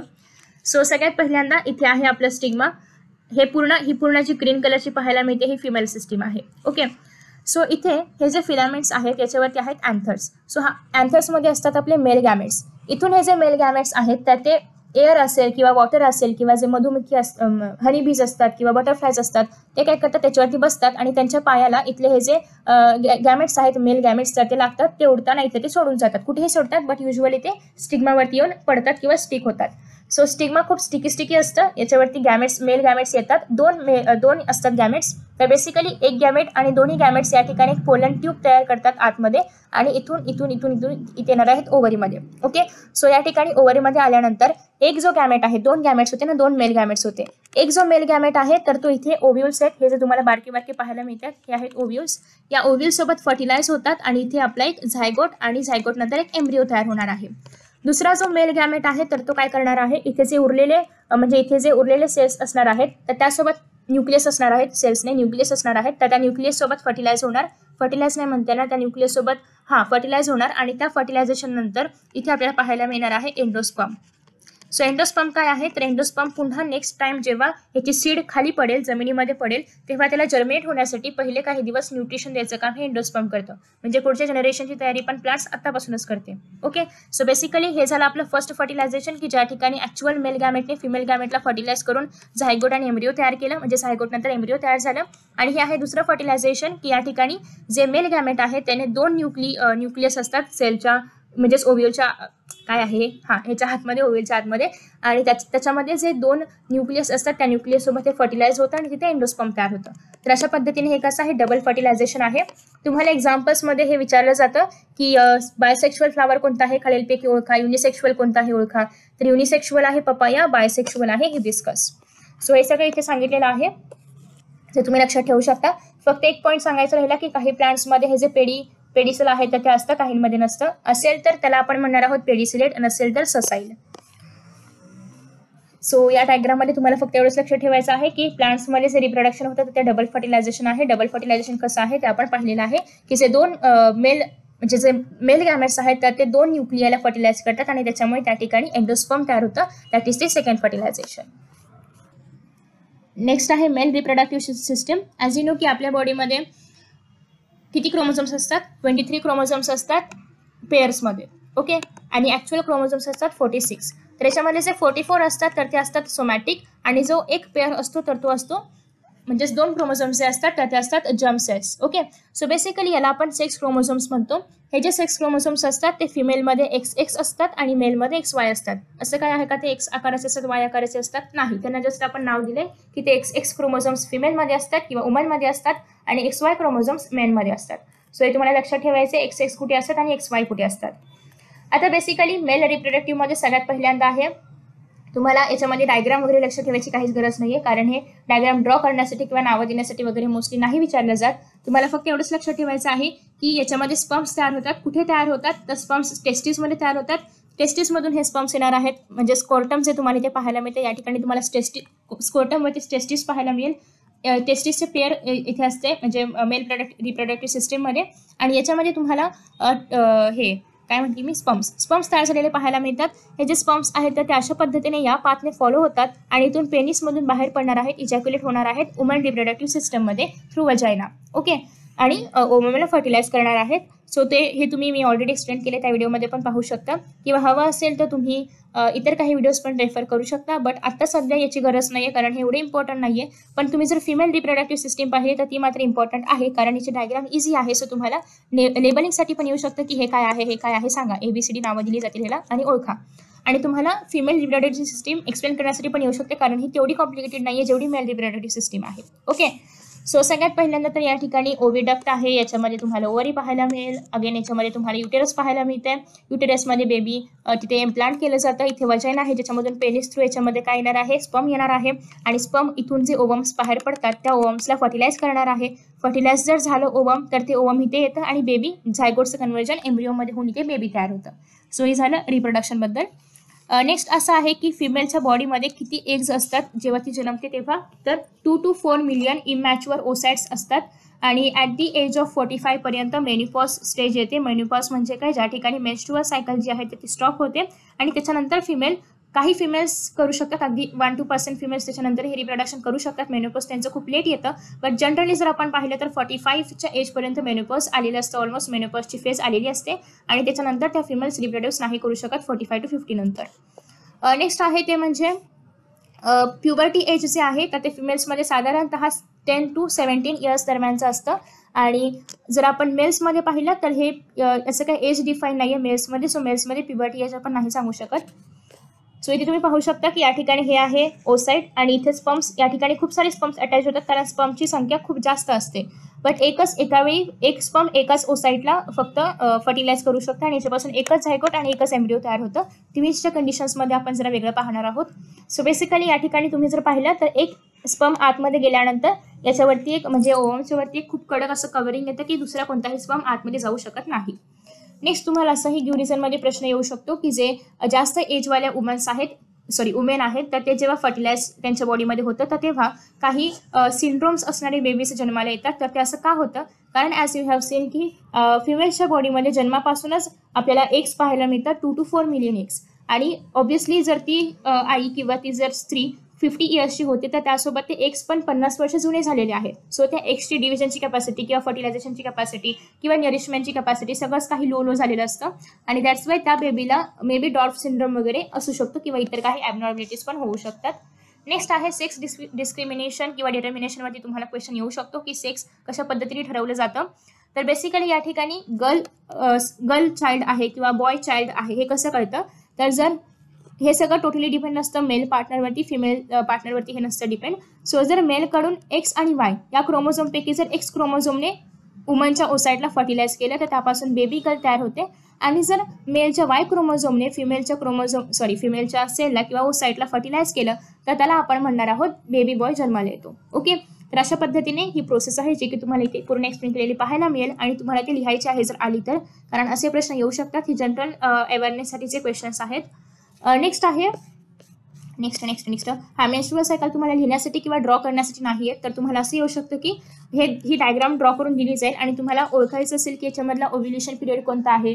कोणत्या पिरियडला ब्लिडिंग होणार आहे कोणत्या पिरियडला नवीन सायकल स्टार्ट होणार आहे कोणत्या डेजमध्ये स्टार्ट होणार आहे त्यासोबतच कोणते हॉर्मोन्स याच्यामध्ये इन्क्लुडेड आहेत? तर कोणते हॉर्मोन्स आहेत? एक तर सगळ्यात पहिल्यांदा आहे follicle stimulating hormone luteinising hormone oestrogen progesterone हे चारच हॉर्मोन्स फक्त याच्यामध्ये तुमच्या पुस्तकामध्ये इन्क्लूड केले गेलेले आहेत. नेक्स्ट आहे तुम्हाला विचारलं जाऊ शकतं ओव्ह्युलेशन कोणत्या पिरियडमध्ये होतं? तर ओव्ह्युलेशन या पिरियडमध्ये होतो या डेजमध्ये होतो. तर असे काही प्रश्न याच्यामध्ये येऊ शकतात. बेसिकली एवढं मोठं लिहिण्यासाठी नाही आहेत पण याची फोड करून की हॉर्मोन्स कोणते आहेत ओव्ह्युलेशन पिरियड कोणता आहे वगैरे असे प्रश्न येऊ शकतात. नेक्स्ट याच्यामध्ये ही सायकल कधी होते? तर जेव्हा ओसाईट फर्टिलाइज नाही होणार तर ओसाईट फर्टिलाइज नाही झालं तर या ठिकाणी एम्ब्रिओची लाईनिंग वगैरे तयार झालेली असते. ती लाईनिंग डिस्ट्रॉय होते ब्लिडिंगच्या फॉर्ममध्ये पण जर ओसाईट फर्टिलाइज झालं तर ही सायकल होत नाही ते स्टॉप होते आणि ब्लिडिंग होत नाही आणि त्यापासून बेबी तयार होतं. ओके सो आणि पिरियड असतो ट्वेंटी फोर आर्स तर ट्वेंटी फोर आर्ट्समध्ये फर्टिलायझेशन नाही झालं. जर ट्वेंटी फोर आर्ट्समध्ये स्पम नाही आलं तर मग ही सायकल ब्रेकडाऊन होते आणि ब्लिडिंग होतं. आणि हे टोटली डिपेंड करणार आहे ब्लिडिंगचा इस्ट्रोजन आणि प्रोजेस्टेरॉनवरती हेच सगळ्या सायकल तयार होणं सायकल स्टॉप होणं सायकल चालू होणं या सगळ्याचं मूळ रिझन आहेत. नेक्स्ट आहे तुम्हाला याचे टेक्निक्स आहेत मॉडर्न टेक्निक्स रिप्रोडक्शनच्या वगैरे. तर त्याच्यावरती शॉर्ट नोट येऊ शकते. आय व्ही एफ काय आहे? सरोगेसी काय आहे? स्पॉम बँक काय आहे? तर बेसिकली आय व्ही एफमध्ये काय केलं जातं? टेस्ट ट्यूबमध्ये फर्टिलायझेशन केलं जातं. म्हणजेच काय? तर सगळ्यात पहिल्यांदा जे फिमेलचं ओवम आहे तर ते बॉडीमधून बाहेर काढलं जातं. जे मेलचं स्पम आहे तर ते पण या अशा निडल्सच्या निडल्समध्ये असतं. आणि बेसिकली हे सगळं टेस्ट ट्यूबमध्ये सुरू आहे. टेस्ट ट्यूबमध्ये या ओवममध्ये हे जे स्पम आहे तर ते मॅन्युअली आतमध्ये टाकलं जातं. म्हणजे बाहेर पूर्ण शरीराच्या बाहेर हे सगळं चालू आहे. आणि मग हे जे ओवम आहे तर ते फर्टिलाइज होतं. याचं झायगोट तयार होतं. आणि मग हे झायगोट एम्ब्रिओ बॉडीमध्ये इम्प्लांट केलं जातं फिमेलच्या आता डिपेंड करणार की हे कोणाच्या बॉडीमध्ये इम्प्लांट करायचं आहे त्याच मदरच्या बॉडीमध्ये करायचं आहे की दुसऱ्या एखाद्या स्त्रीच्या बॉडीमध्ये इम्प्लांट करून मग ती स्त्री ते बेबी रिटर्न त्या मदरला देते ओके सो हे असं कधी केलं जातं? सरोगेट मदर कधी घेतली जाते किंवा कधी अपॉइंट केली जाते? तर बेसिकली जेव्हा ओरिजिनल मदरच्या युटेरसमध्ये काही प्रॉब्लेम असेल किंवा ते काही कारणास्तव युटेरसमध्ये बेबीला नरिश वगैरे किंवा इम्प्लांट वगैरे करू शकत नसेल तर मग सरोगेट मदरची हेल्प घेऊन हिच्या बॉडीमध्ये हे सगळं बेबी जे आहे ते ग्रो होतं किंवा बेबी तयार होतं. आणि ओवम आणि ओसाईट मात्र सॉरी ओसाईट आणि स्पर्म मात्र या मदर फादरचाच असणार आहे. फक्त बेबी यांच्या बॉडीमध्ये इम्प्लांट केला जातो. आणि मग तो बेबी रिटर्न या मदरला मिळतो आणि झालं ओके एवढंच. आफ्टर दॅट नेक्स्ट आहे स्पर्म बँक आणि सिमेंट बँक तर बेसिकली स्पर्म बँकमध्ये असे काही मेल्स आहेत की जे ज्यांच्या बॉडीमध्ये स्पर्म काउंट खूप कमी असतो आणि त्याच्यामुळे ते रिप्रोड्यूस करू शकत नाहीत. मग त्यावेळेस काय होतं की स्पर्म बँक्समधून त्यांना स्पर्म्स मिळू शकतात. सो बेसिकली ह्याच्यामध्ये जे असे फिम जे असे मेल्स आहेत की ज्यांना स्पर्म डोनेट करायचं आहे त्याच्यामध्ये स्पम्स डोनेट करतात. आणि असे काही मेल्स आहेत ज्यांना काही प्रॉब्लेम्स आहेत स्पर्म प्रोडक्शनमध्ये तर ते ते स्पर्म्स त्यांच्या घेऊन म्हणजे त्या बँकमधून बॉरो करून फर्टिलायझेशन वगैरे होऊ शकतं टेस्ट ट्यूबच्याद्वारे तर अगेन इथे ही आय व्ही एफ टेक्निकच वापरली जाते आणि इथे ज्यांनी स्पर्म डोनेट वगैरे केलेलं आहे त्या सगळ्यांचं नाव गुप्त ठेवलं जातं सिक्युरिटी पर्पजसाठी नेक्स्ट आहे ट्विन्स ट्विन्समध्ये दोन प्रकारचे ट्विन्स आहेत. मोनोसायगोटिक ट्विन्स आणि dizygotic twins so basically monozygotic twins कसे तयार होतात? तर एम्ब्रिओ तयार झाला आणि एम्ब्रिओ तयार झाल्यानंतर आठ दिवसांच्या आत जे झायगोट आहे ते झायगोट जर सपोज की हे झायगोट असेल हे झायगोट जर आठ दिवसांच्या आत दोन ग्रुप्समध्ये डिवाइड झालं म्हणजे दोन याचं दोन सेल्स याच्यापासून तयार झाले त्याच्यापासून मोनोझायगोटिक ट्विन्स तयार होतात जे की एक्झॅक्टली सेम एकदम डिट टू कॉपी पेस्ट असतात. कारण याच्यामध्ये जर आपण पाहिलं तर एकच झायगोट आहे. एकच झायगोट आहे याचा अर्थ याच्यामध्ये स्पर्म आणि ओसाईडचे सेम सेम जेनेटिक कॅरेक्टर्स आलेले आहेत. तेच फक्त या ठिकाणी स्प्लिट होत आहेत. म्हणजे इथे जे दोन बेबीज तयार होतील त्या ते एकदम सेम असतात. जेनेटिकली पण सेम असतात.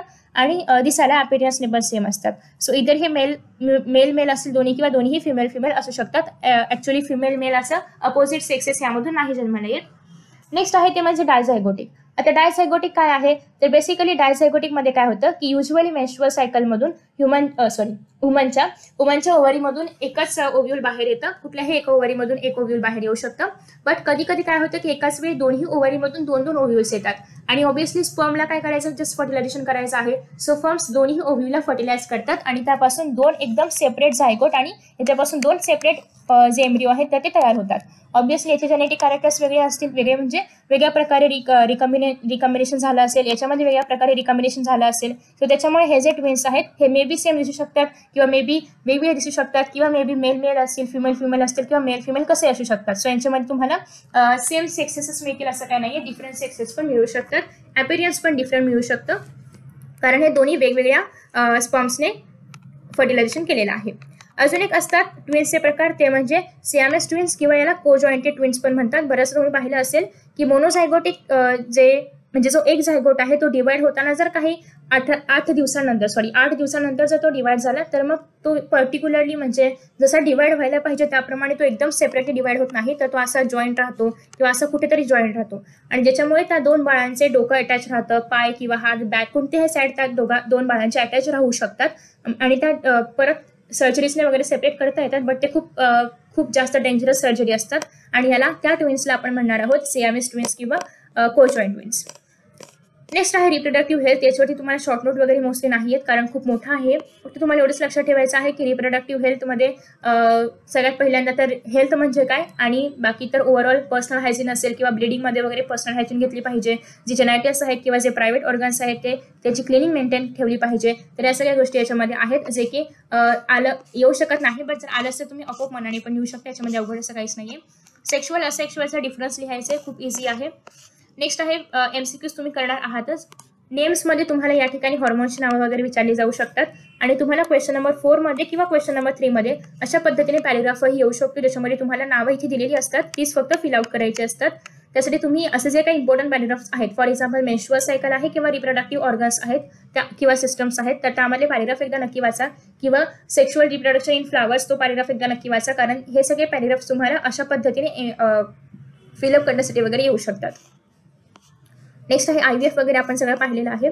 Menstrual cycle as such draw करा किंवा शॉर्ट नोट लिहा वगैरे एवढा मोठा येत नाही. आल्यास तर तुम्हाला सायकल ड्रॉ करून दिली जाईल आणि त्याच्यावरती प्रश्न विचारले जातील.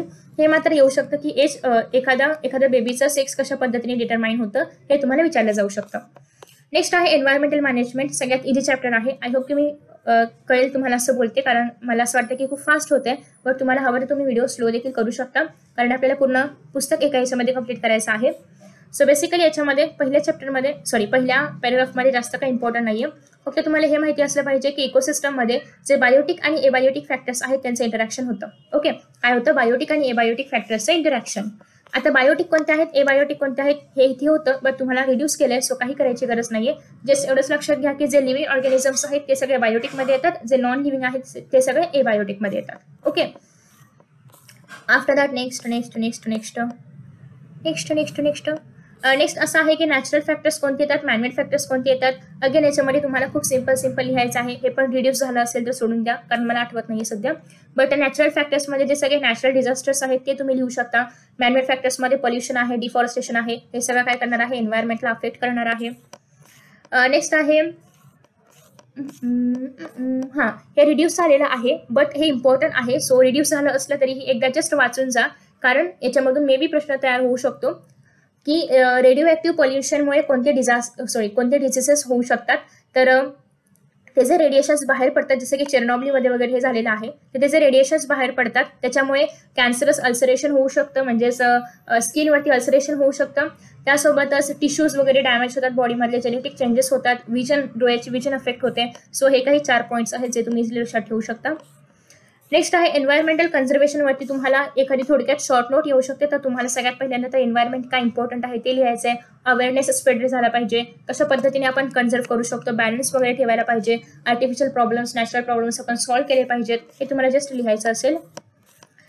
नेक्स्ट आहे तुम्हाला ही जी स्टोरी आहे मोलाई स्तोलाई किंवा मोलाईचे जंगल किंवा मोलाई पेंग यांच्यावरची स्टोरी ही तुम्हाला याचं मोरल विचारलं जाऊ शकतं. तर फक्त एक मोरल वगैरे लक्षात ठेवा. नेक्स्ट आहे एन्व्हायरमेंटल कन्झर्वेशन अँड बायोडायव्हर्सिटी याच्यामध्ये तुम्हाला बायोडायव्हर्सिटीचे डेफिनेशन करायचे आहे आणि हे तीन लेवल्स करायचे आहेत. बाकी बाकी बाकी बाकी. अग अजून तुम्हाला हे जे लोगो आहेत हे ओळखता आले पाहिजेत की हे सेव्ह इलेक्ट्रिसिटी आहे हे सेव्ह वॉटर आहे हे की युअर सिटी क्लीन वगैरे. हे फक्त तुम्हाला ओळखून याच्यावरती ॲटलिस्ट एक ते दोन ओळी मेन्शन करता आल्या पाहिजेत आणि ते खूप इझी आहे. नेक्स्ट आहे बायोडायव्हर्सिटी हॉटस्पॉट्समधले हे जे नंबर्स आहेत हे फक्त लक्षात ठेवायचे आहेत. वल्नरेबल स्पीशीज सॉरी थिएटर स्पीशीजमध्ये तुम्हाला कोणते स्पीशीज वल्नरेबल आहेत कोणते रेअर आहेत कोणते एंडेंजर्ड आहेत यासाठी फक्त आणि फक्त हे एक्झाम्पल्स लक्षात ठेवायचे आहेत. कारण हे ऑडमॅन आउटमध्ये ट्रू फॉल्समध्ये एम सी क्यूजमध्ये वगैरे विचारलं जाऊ शकतं. सो तुम्हाला फक्त एक्झाम्पल्स लक्षात ठेवायचे आहेत आणि त्याचं नाव. बस संपला चॅप्टर एक्सरसाइजमध्ये कोणते इम्पॉर्टंट असतील तर ते फक्त हेच आहे की बायोडायव्हर्सिटीचे प्रकार जे आपण पाहिले होते जेनेटिक डायव्हर्सिटी आहे स्पीशीज डायव्हर्सिटी आहे ती.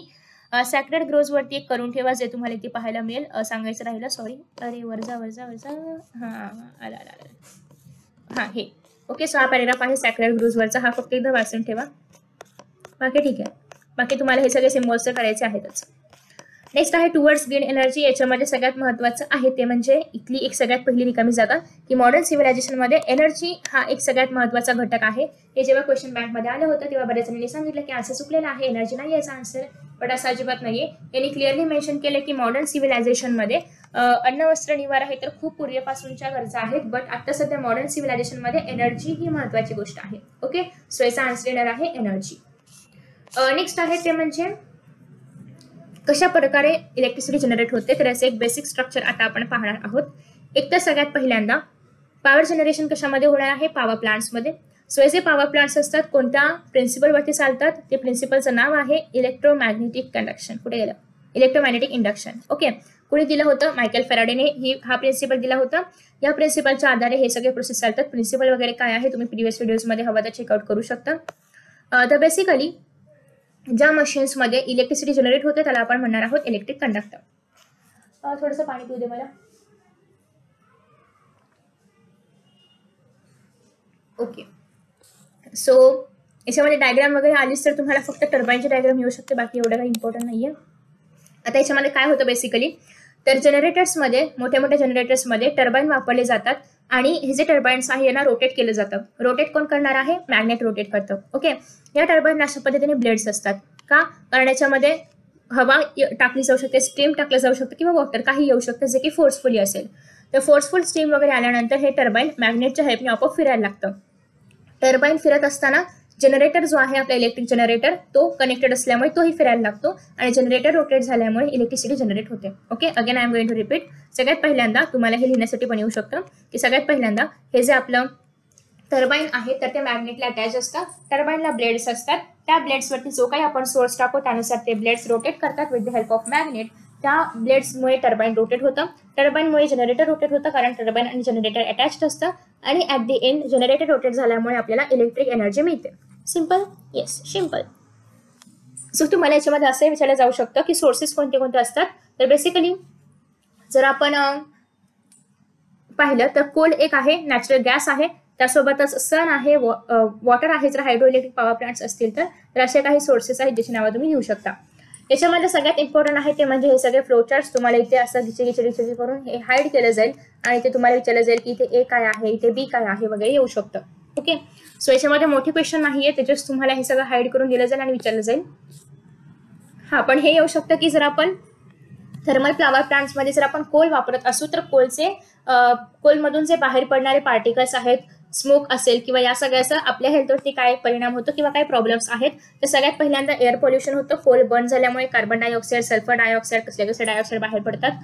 नेक्स्ट आहे ते म्हणजे याच्यामुळे रेस्पिरेटरी डिसिजेस होतात आपल्याला. आणि थर्ड थर्ड पार्ट असा आहे की प्रॉब्लेम असा आहे की कोल एवढ्या जास्त प्रमाणामध्ये सध्या अवेलेबल नाही आहे आपल्या पृथ्वीवरती. सो लिमिटेड सोर्स आहे त्याचा आणि ते जर संपला तर मग विसरा कोलला ओके सो हे तीनच प्रॉब्लेम्स आहेत. आफ्टर दॅट नेक्स्ट आहे नेक्स्ट तुम्हाला इथे विचारलं जाऊ शकतं ते म्हणजे काय आहे? हे आपल्या न्यूक्लिअर एनर्जी पावर प्लांट्समध्ये न्यूक्लिअर एनर्जीमध्ये सगळ्यात पहिल्यांदा युरॅनियमचं युरॅनियम टू थर्टी थ्रीचा एक अशा पद्धतीने छानसा आपल्याकडे ॲटम असतो. याच्यावरती एक न्यूट्रॉनला बंबार्ड करतात. न्यूट्रॉनला बंबार्ड केल्यामुळे हे युरॅनियम टू थर्टी फायचं युरॅनियम टू थर्टी सिक्स होतं. आणि हे जे आपल्या युरॅनियम आहे तर तो असा फुटतो फुटक. ओके? फुटल्यानंतर याच्यापासून आपल्याला तीन न्यूट्रॉन मिळतात. सो तुम्हाला हे पण विचारतात की किती न्यूट्रॉन मिळतात? तर तीन न्यूट्रॉन मिळतात. त्यासोबतच एक बेरिलियम आणि एक क्रिप्टॉन पण मिळतं. ओके? अगेन हे जे तीन न्यूट्रॉन आहेत प्रत्येक न्यूट्रॉन पुढे जाऊन परत युरॅनियम टू थर्टी फाय परत हा पण युरॅनियम टू थर्टी फाय हा पण युरॅनियम टू थर्टी फाय परत टू थर्टी सिक्स परत ते फुटणार. ओके? सो हे प्रोसेस चालू राहते. आणि याच्यामधून काय मिळते? एनर्जी सिंपल नेक्स्ट आहे नॅचरल गॅस याच्यामध्ये कोणते गॅसेस वापरले जातात हे तुम्हाला विचारलं जाऊ शकतं. तर बेसिकली याच्यामधून प्रदूषण वगैरे असं काही होत नाही. कारण याच्यामध्ये सल्फरचे वगैरे कुठले गॅसेस नाही वापरले जात. सगळे नॅचरल गॅस असतात. सो दॅट्स वाय हे मोर एफिशियंट आहे दॅन आपला तो कोलवाला काय होतं ते thermal thermal power plant okay so हे एक तुम्हाला ट्रू ऑर फॉल्समध्ये हे स्टेटमेंट येऊ शकतं.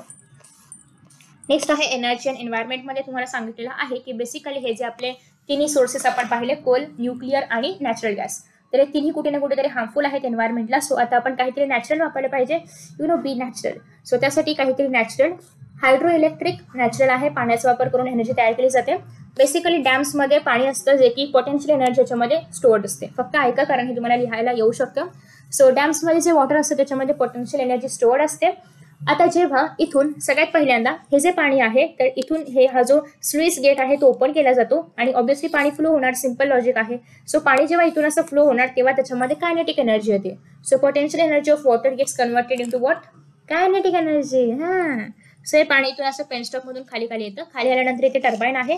टर्बाईन रोटेट होणार. टर्बाईनमुळे जनरेटर रोटेट होणार. जनरेटरमध्ये इलेक्ट्रिसिटी तयार होणार. ती जाणार अशी पॉवर हाऊसमधून इकडे आणि मग तुमच्या घरात. कटक कटक आणि मग ट्यूबलाईटची पेटणार. ओके सिंपल सो बेसिकली हेच होणार आहे याच्यामध्ये. की पोटेन्शियल एनर्जी असते वॉटरमध्ये कन्वर्ट होते कायनेटिक एनर्जीमध्ये कारण वॉटर फ्लो होतं. त्याच्यानंतर कायनेटिक एनर्जी टर्बाईनमध्ये गेल्यानंतर टर्बाईन रोटेट करते. टर्बाईन जनरेटरला जनरेटरमधून एनर्जी तयार आणि नेक्स्ट आहे विंड तर बेसिकली विंड सगळ्यात सोपा आणि सगळ्यात मस्त एकदम लॉजिक आहे. याच्यामध्ये काय होतं की हवा येते. हवा आली की हवा हे जे ब्लेड्स आहेत त्यांना रोटेट करते. ब्लेड्स रोटेट झाल्यामुळे आतमधला गिअरबॉक्स वगैरे सगळे ॲडजस्टमेंट करतो. टर्बाईनला रोटेट जे हे जे आहे आपले हेच टर्बाईन आहे टर्बाईन रोटेट होतं. त्याच्यामुळे जनरेटर रोटेट होतं. इलेक्ट्रिसिटी तयार आणि तुमच्या घरात. सिंपल सो बेसिकली याच्यामध्ये तुम्हाला काय काय विचारलं जाऊ शकतं? इथे जो गिअरबॉक्स वापरला तो का वापरलेला असतो? Rotations per unit time increase करण्यासाठी तर हे येऊ शकतं. बाकी काय याच्यामध्ये जास्त इम्पॉर्टंट नाही आलं तर फ्लो चार्टर्स फ्लो चार्ट सगळे करायचे आहेत. मी सगळ्याला मार्क नाही केल्यावर सगळे फ्लो चार्ट्स तुम्हाला करायचे आहेत. एकदा वाजायचे ते आहेतच. तुम्हाला जर प्रोसेस केली तर तुम्ही आरामात फ्लो चार्ट्स करू शकता. नेक्स्ट हे सगळ्यात इम्पॉर्टंट आहे. हे तुम्हाला एम ह्याच्यामध्ये एम सी क्यूज कशातले क्वेश्चन बँकमधले त्याच्यामध्ये पण पाहायला मिळेल की जे वाईन टर्बाईन्स आहेत विंड टर्बाईन्स किंवा वाईन टर्बाईन्स जे पण असेल ते त्यांची कॅपॅसिटी किती असते? वन किलो वॅटपासून ते सेवन मेगा वॅट पर्यंत. ओके सो हे खूप इम्पॉर्टंट आहे. सेवन मेगा किंवा सेवन हंड्रेड के वॅट पर्यंत. उसके बाद नेक्स्ट है सोलार फोटोवोल्टाइक सेल्स इसमें क्या होता है की सन मधली जी एनर्जी आहे तर ती ॲब्झॉर्ब केली जाते. बाय आपले जे सोलार सेल्स असतात ते ह्याला ॲब्झॉर्ब करतात. आणि ते डायरेक्ट ह्याचं कन्व्हर्जन डी सीमध्ये करतात. ओके डायरेक्ट करंटमध्ये हे डायरेक्ट करंट मग ए सीमध्ये कन्वर्ट होतं. मग ते आपल्या घरामध्ये येणार. ओके सो ती पुढची प्रोसेस थोडीशी वेगळी आहे बट ॲक्च्युली सगळ्यात पहिल्यांदा सनलाईटचं कन्व्हर्जन डी सीमध्ये होतं बाय फोटोवोल्टाईक इफेक्ट सोलार सेल्समध्ये आता हे जे सोलार सेल्स असतात ते बनलेले असतात सिलिकॉनचे याच्यामध्ये झिरो पॉईंट फाईव्ह वोल्टपर्यंत करंट प्रोड्यूस होतो.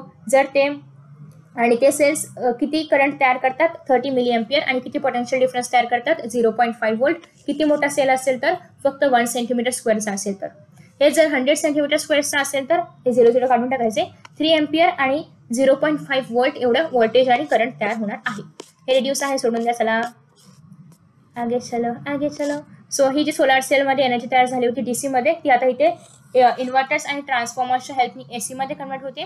ए सीमध्ये कन्वर्ट करण्याचं कारण हेच आहे. कारण कारण हेच आहे की याच्यामध्ये सगळे जे इलेक्ट्रिकल अप्लायन्सेस असतात मोठे मोठे ए सी बी सी जे आपल्या घरामध्ये असतं ते सगळं ए सीवरती चालतं डी सीवरती चालत नाही. ए सी ए सीवरती चालतं. ओके नेक्स्ट आहे सोलार थर्मल आता याच्यामध्ये काय होतं? की हे आहेत आपले सोलार सेल्स किंवा रिसे रिसेप्टर्स याला आपण म्हणतो. आणि हे आहेत आपले ॲब्झॉर्बर्स सो बेसिकली सनमधून याच्यावरती रेडिएशन्स पडतात. याच्यामधून रेडिएशन्स याच्यामध्ये जातात. याच्यामध्ये काय फ्लो होत असतं? पाणी फ्लो होत असतं. सो एक आहे पाण्याचं पाईपलाईन सो याच्यामधून पाणी फ्लो होत असतं. आता सूर्याचे रेडिएशन्स एवढे हार्ड म्हणजे एवढे स्ट्रॉंग असतात की ते पाण्याचं कन्वर्जन इथून फ्लो होता होता स्टीममध्ये होतं. मग इथून बाहेर पडताच हे काय होतं? पाण्याचं कन्वर्जन स्टीममध्ये होतं. हे स्टीम जी आहे सगळ्याकडची येते अशी कलेक्ट होते इथे मस्त मजेत. आणि मग इथून स्टीम इथे जाते टर्बाईनला फिरवते टर्बाईन जनरेटरला फिरवतो. जनरेटरमधून एनर्जी बाहेर पडते आणि तुमच्या घरात. नेक्स्ट आहे आता इथून जे स्टीम आहे ते परत यायला पाहिजे ना. पाणी वेस्ट नाही घालवायचं आपल्याला. सो स्टीम जे आहे ते रिटर्न येतं. स्टीमचं कन्वर्जन येते कंडेन्सरमध्ये स्टीमचं कन्वर्जन वॉटरमध्ये केलं जातं. परत पाणी इकडे परत स्टीम तयार. मस्त मजे करू. ओके झालं संपलं. नेक्स्ट आहे तुम्हाला हे नक्की विचारलं जाऊ शकतं की कोल कुठ म्हणजे कोलमध्ये कोणती एनर्जी असते? थर्मल असते. कोल कशामध्ये वापरलं जातं? थर्मल प्लांटमध्ये सो हे तुम्ही जर प्रोसेसेस नीट ऐकले असतील आता मी जे बडबडले आता फास्ट फास्टमध्ये तर तुम्हाला हे कळलं असेल. नेक्स्ट आहे याच्यामधले गिव्ह रिझन्स खूप महत्त्वाचे आहेत. सो बेसिकली महत्त्वाचे एवढे नाही आहेत but but but but but but हा हे महत्त्वाचं आहे. सी फक्त करून गेला तरी पण पुरेसं आहे. नेक्स्ट आहे ॲनिमल किंगडम हा हा हा. सगळ्यात मस्त आणि सोपा चॅप्टर कारण या चॅप्टरमध्ये पाठ करण्यासारखं काहीच नाही तुम्हाला फक्त चार पाच पॉईंट लक्षात ठेवायचे आणि बस तेवढं लक्षात ठेवलं तरी पण पुरेसं आहे. सगळ्यात महत्त्वाचं म्हणजे तुम्हाला कॉर्डेट्स आणि नॉन कॉर्डेट्समध्ये डिफरन्स करायचे फक्त चार पॉईंट्स आहेत की कॉर्डेट्समध्ये काय असतं नोट नॉन कॉर्डेट्समध्ये काय असतं. सगळ्यात पहिल्यांदा आहे रॉड लाईक नोटोकॉर्ड जो की यांच्याकडे नाही आहे यांच्याकडे आहे. दुसरं आहे फॅरेंजल गिल्स्टेट्स नाही आहेत यांच्याकडे आहेत. याच्यामधून काय करतात? फॅरेंजल गिल्स्टेट्समधून रेस्पिरेशन करतात. नर्व कॉर्ड जर असेल तर ते सॉलिड असतं ते पेयड असतं आणि वेंटल म्हणजे पुढच्या बाजूला असतं. यांच्यामध्ये नर्व कॉर्ड असतोच असतो पण तो मागच्या बाजूला असतो आणि हॉलो असतो. मध्ये काय? मिरची मसाला भरलेला नसतो. नेक्स्ट आहे हार्ट जर असेल तर कुठे असतं? डोर्सल म्हणजे मागच्या साईडला इकडे हार्ट तुमचं कुठे आहे? पुढे आहे. सो दॅट्स वे कॉर्डिनेट्समध्ये हार्ट कुठे असतं? पुढे असतं. संपला विषय. एवढंच करायचं आहे नेक्स्ट आहे फायलांची नावं. आय होप की लक्षात राहिली असतील आतापर्यंत. नसतील राहिले तर तुम्हाला काही करून लक्षात ठेवावे लागतील. तुम्ही कोणतेही न्युमॅरिकल्स सॉरी न्यूमॅरिकल्स नाही निमोनिक्स निमोनिक्स तयार करू शकता. सो नेक्स्ट तुम्हाला आता फायलांची प्रिपरेशन करताना कशी करायची आहे? तर सगळ्यात पहिल्यांदा पहिला पॉईंट असा घ्यायचा आहे की ते कुठे राहतात? हॅबिटेट काय आहे? इक्वेटिक आहे? टेरेस्टियल आहे? की सगळीकडे राहतात? ते तुम्हाला घ्यायचं आहे. नेक्स्ट ते सिमेट्रिकल आहेत. म्हणजे सिमेट्रिकल आहेत बायलेटरी सिमेट्रिकल आहेत की रेडियल सिमेट्रिकल आहेत? थर्ड ते डिप्लोब्लास्टिक आहेत की ट्रिप्लोब्लास्टिक आहेत? फोर्थ घ्यायचं आहे सिलोमेट आहेत की एसिलोमेट आहे?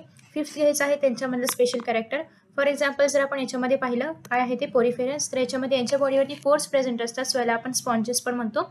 आणि दुसरी गोष्ट महत्त्वाची अशी की यांच्या बॉडीमध्ये कोलार सेल्स नावाचे स्पेशल सेल्स पण असतात.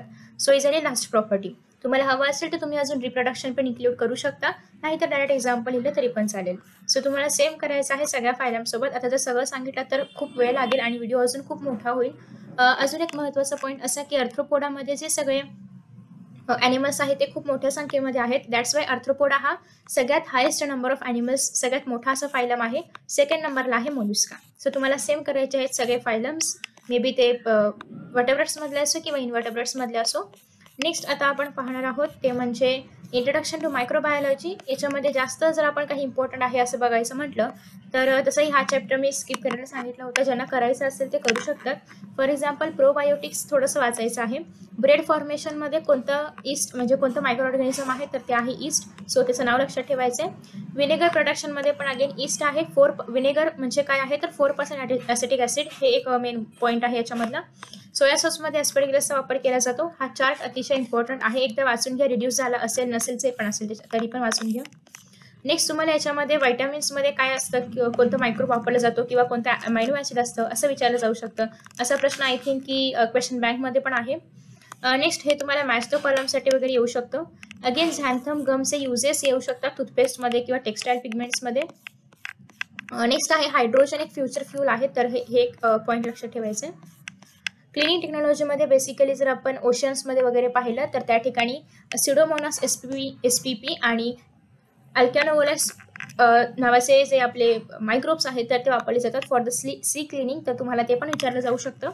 नेक्स्ट आहे पी टीचा full form after that text आहे इथे स्पिनोसाइड नावाचं बायो इन्सेक्टिसाइड आहे तर हे पण तुम्हाला विचारलं जाऊ शकतं. याच्यावरती एम सी क्यू बाकी क्लिनिंग वगैरे M C Q sorry charts तुम्हाला करायचे आहेतच कारण ते एक्सरसाइजमधले पण आहेत त्याच्यामुळे तुम्हाला येऊ शकतात. नेक्स्ट आहे स्टेम सेल्स म्हणजे काय? स्टेम सेल्स कुठे पाहायला मिळतात? अगेन स्टेम सेल्सचा यूज काय आहे? ते लक्षात ठेवायचं आहे. नेक्स्ट आहे स्टेम सेल्सशी निगडीत जे आजार आहेत ते. आफ्टर दॅट नेक्स्ट आहे बायोटेक्नॉलॉजीमध्ये बीटी कॉटन ब्रिटी ब्रिंजल हे तुम्हाला एक्सप्लेन करण्यासाठी येऊ शकतं. त्याच्यानंतर नेक्स्ट आहे ह्युमॅन हेल्थमध्ये दोन महत्त्वाच्या गोष्टी आहेत वॅक्सिन्स आणि वॅक्सिनेशन सो आणि ॲनिमल हजबंडरीमध्ये आहे आर्टिफिशियल इन्सेमिनेशन आणि एम्ब्रिओ ट्रान्सफर नेक्स्ट आहे जेनेटिक जिन सॉरी जीन थेरपीमध्ये एक डिसीजचं नाव आहे फिनाईल क्युटोन्युरिया तर हा डिसीज कशामध्ये होतो? लिव्हरमध्ये होतो वगैरे हे तुम्हाला विचारलं जाऊ शकतं. आफ्टर दॅट नेक्स्ट आहे हे काही तुम्हाला लक्षात ठेवायचे आहेत नावं कारण हे तुम्हाला मॅच कॉलम्समध्ये पण येऊ शकतं किंवा लिहिण्यासाठी पण येऊ शकतं. नेक्स्ट आहे ग्रीन ग्रीन रिव्हॉल्युशन इंडियामध्ये कोणी सुरू केलं युएसमध्ये कोणी सुरू केलं त्यांची नावं. व्हाईट रिव्हॉल्युशन कोणी सुरू केलं होतं त्यांचं नाव वर्गीस कुरियन. ब्ल्यू रिव्हॉल्युशनबद्दल ब्ल्यू रिव्हॉल्युशनबद्दल एवढं काही येणार नाही. फक्त ब्ल्यू रिव्हॉल्युशनमध्ये एक्वा कल्चर केलं जातं. हे तुम्हाला लक्षात ठेवायचं किंवा पायसिस कल्चर केलं जातं. नेक्स्ट आहे सगळ्यात पहिल्यांदा तर हे जे आपले फर्टिलायझर्स आहे त्याच्यामधले केमिकल फर्टिलायझर्स तुम्हाला लक्षात ठेवायचे आहेत एन पी के नेक्स्ट आहे हे काही इन्सेक्टिसाइड्स आहेत त्यांची नावं लक्षात ठेवायची आहेत आणि बाकी इनफ सो हा चॅप्टर आपला संपलेला आहे. तुम्हाला हे सगळे चार्ट्स मात्र करायचे आहेत युजेस आहे त्याच्यामध्ये बायोटेक्नॉलॉजीचे मेरिट्स वगैरे आहेत. नेक्स्ट आहे सोशल हेल्थमध्ये जास्त काही करायची गरज नाही आहे फक्त एकदा तुम्हाला मेंटल स्ट्रेस म्हणजे काय माहिती असलं पाहिजे ॲडिक्शन कोणामध्ये होतं पिअर ग्रुपमध्ये वगैरे होतं ॲडिक्शनमध्ये टोबॅको आहे जे की कार्सिनोजेनिक ड्रग आहे या काही गोष्टी महत्त्वाच्या आहेत. क्रोनिक डिसिजेसमध्ये इनक्युरेबल डिसिजेस जे आहेत for example AIDS T B leprosy mental health disorders हे तुम्हाला असं चार्ट्समध्ये किंवा वेब्समध्ये वगैरे विचारलं जाऊ शकतं. लिकर कशापासून बनवतात? तर लिकर अल्कोहोलपासूनच बनवतात फर्मेंटेशन वगैरे करून. नेक्स्ट आहे तुम्हाला हे रॅशनल आहे विचारलं जाऊ शकतं किंवा हे बरोबर चाललंय का? इथे जे चाललंय ते. चुकीचं असेल तर काय चुकीचं आहे? लिहायचं आहे. इथे जे चाललंय ते बरोबर चालू आहे का? म्हणजे एकाच ऍक्सिडेंट झाले आणि बाकीचे लोक व्हिडिओज आणि फोटोज काढतात instead of taking him to the hospital तरी चुकीचं आहे. मग इथे काय केलं पाहिजे? तर त्याला हॉस्पिटलमध्ये वगैरे घेऊन गेलं पाहिजे.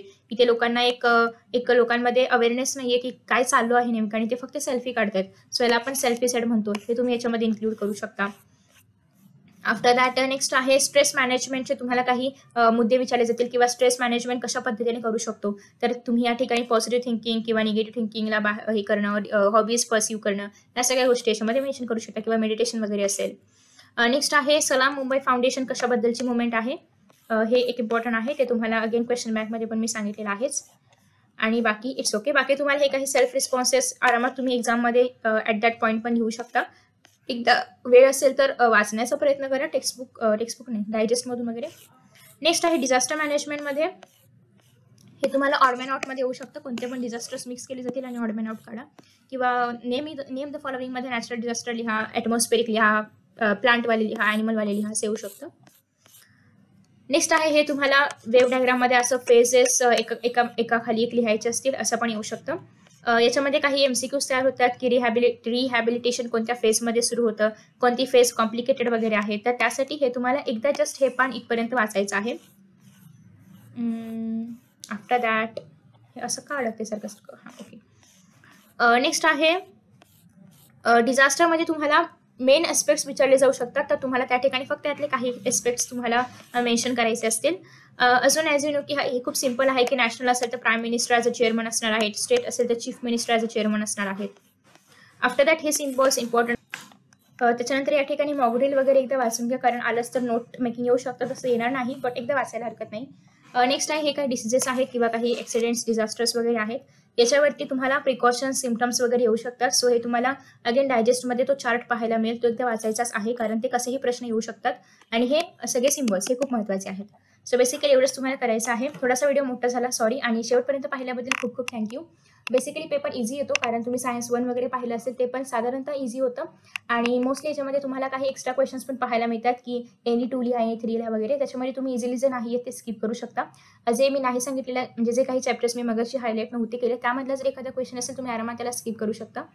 तर बेसिकली तुम्हाला जे क्वेश्चन जे लेसन्स मी सांगितलेले आहेत तेवढेच करायचे आहेत कारण ते इम्पॉर्टंटही आहेत. आणि तेवढे गेले तरी पण तुम्हाला ॲज पर दी बोर्ड बोर्डनेच ते वेटेज दिलेलं आहे त्यानुसार तुम्हाला त्याच्यानुसारही आरामात फोर्टी पैकी फोर्टी मार्क्स मिळू शकतात. फक्त तुम्हाला त्या लेसनच्या व्यतिरिक्त एखादं कोणतं तरी सेपरेट लेसन करावं लागेल. कारण मी जे लेसन सांगितले त्यानुसार तुम्हाला थर्टी फाईव्ह पर्यंत आरामात मिळतील. ओके सो तुम्हाला एक्स्ट्रा कोणताही एखादा लेसन करायचं आहे जेणेकरून तुम्हाला आउट ऑफ मार्क्स मिळतील. So best of luck for exams आणि मस्त तयारी करा छान तयारी करा. आता लास्ट मोमेंटला एक्स्ट्रा काही करायची गरज नाही फक्त जस्ट एक थोडक्यात रिव्हिजन करायचे. अगेन रिव्हिजनसाठी तुम्ही जे आपलं डायजेस्ट आहे त्याच्यामध्ये सुरुवातीला काही पानांवरती तुम्हाला समरी पाहायला मिळते चॅप्टरची तेवढी केली तरी पण पुरेशी आहे. पूर्ण लेसन न वाचता. सो तुम्ही ते रेफर करू शकता. आणि हे सगळे चॅप्टर्स हे तुम्हाला थर्टी फाईव्ह मार्क्स मिळतील. बाकी तुम्हाला या चारपैकी कोणतेही एखादं चॅप्टर करायचं आहे for to achieve at least forty marks okay so I hope की तुम्हाला हा व्हिडिओ आवडला असेल. Thank you for watching this video and see in the next video bye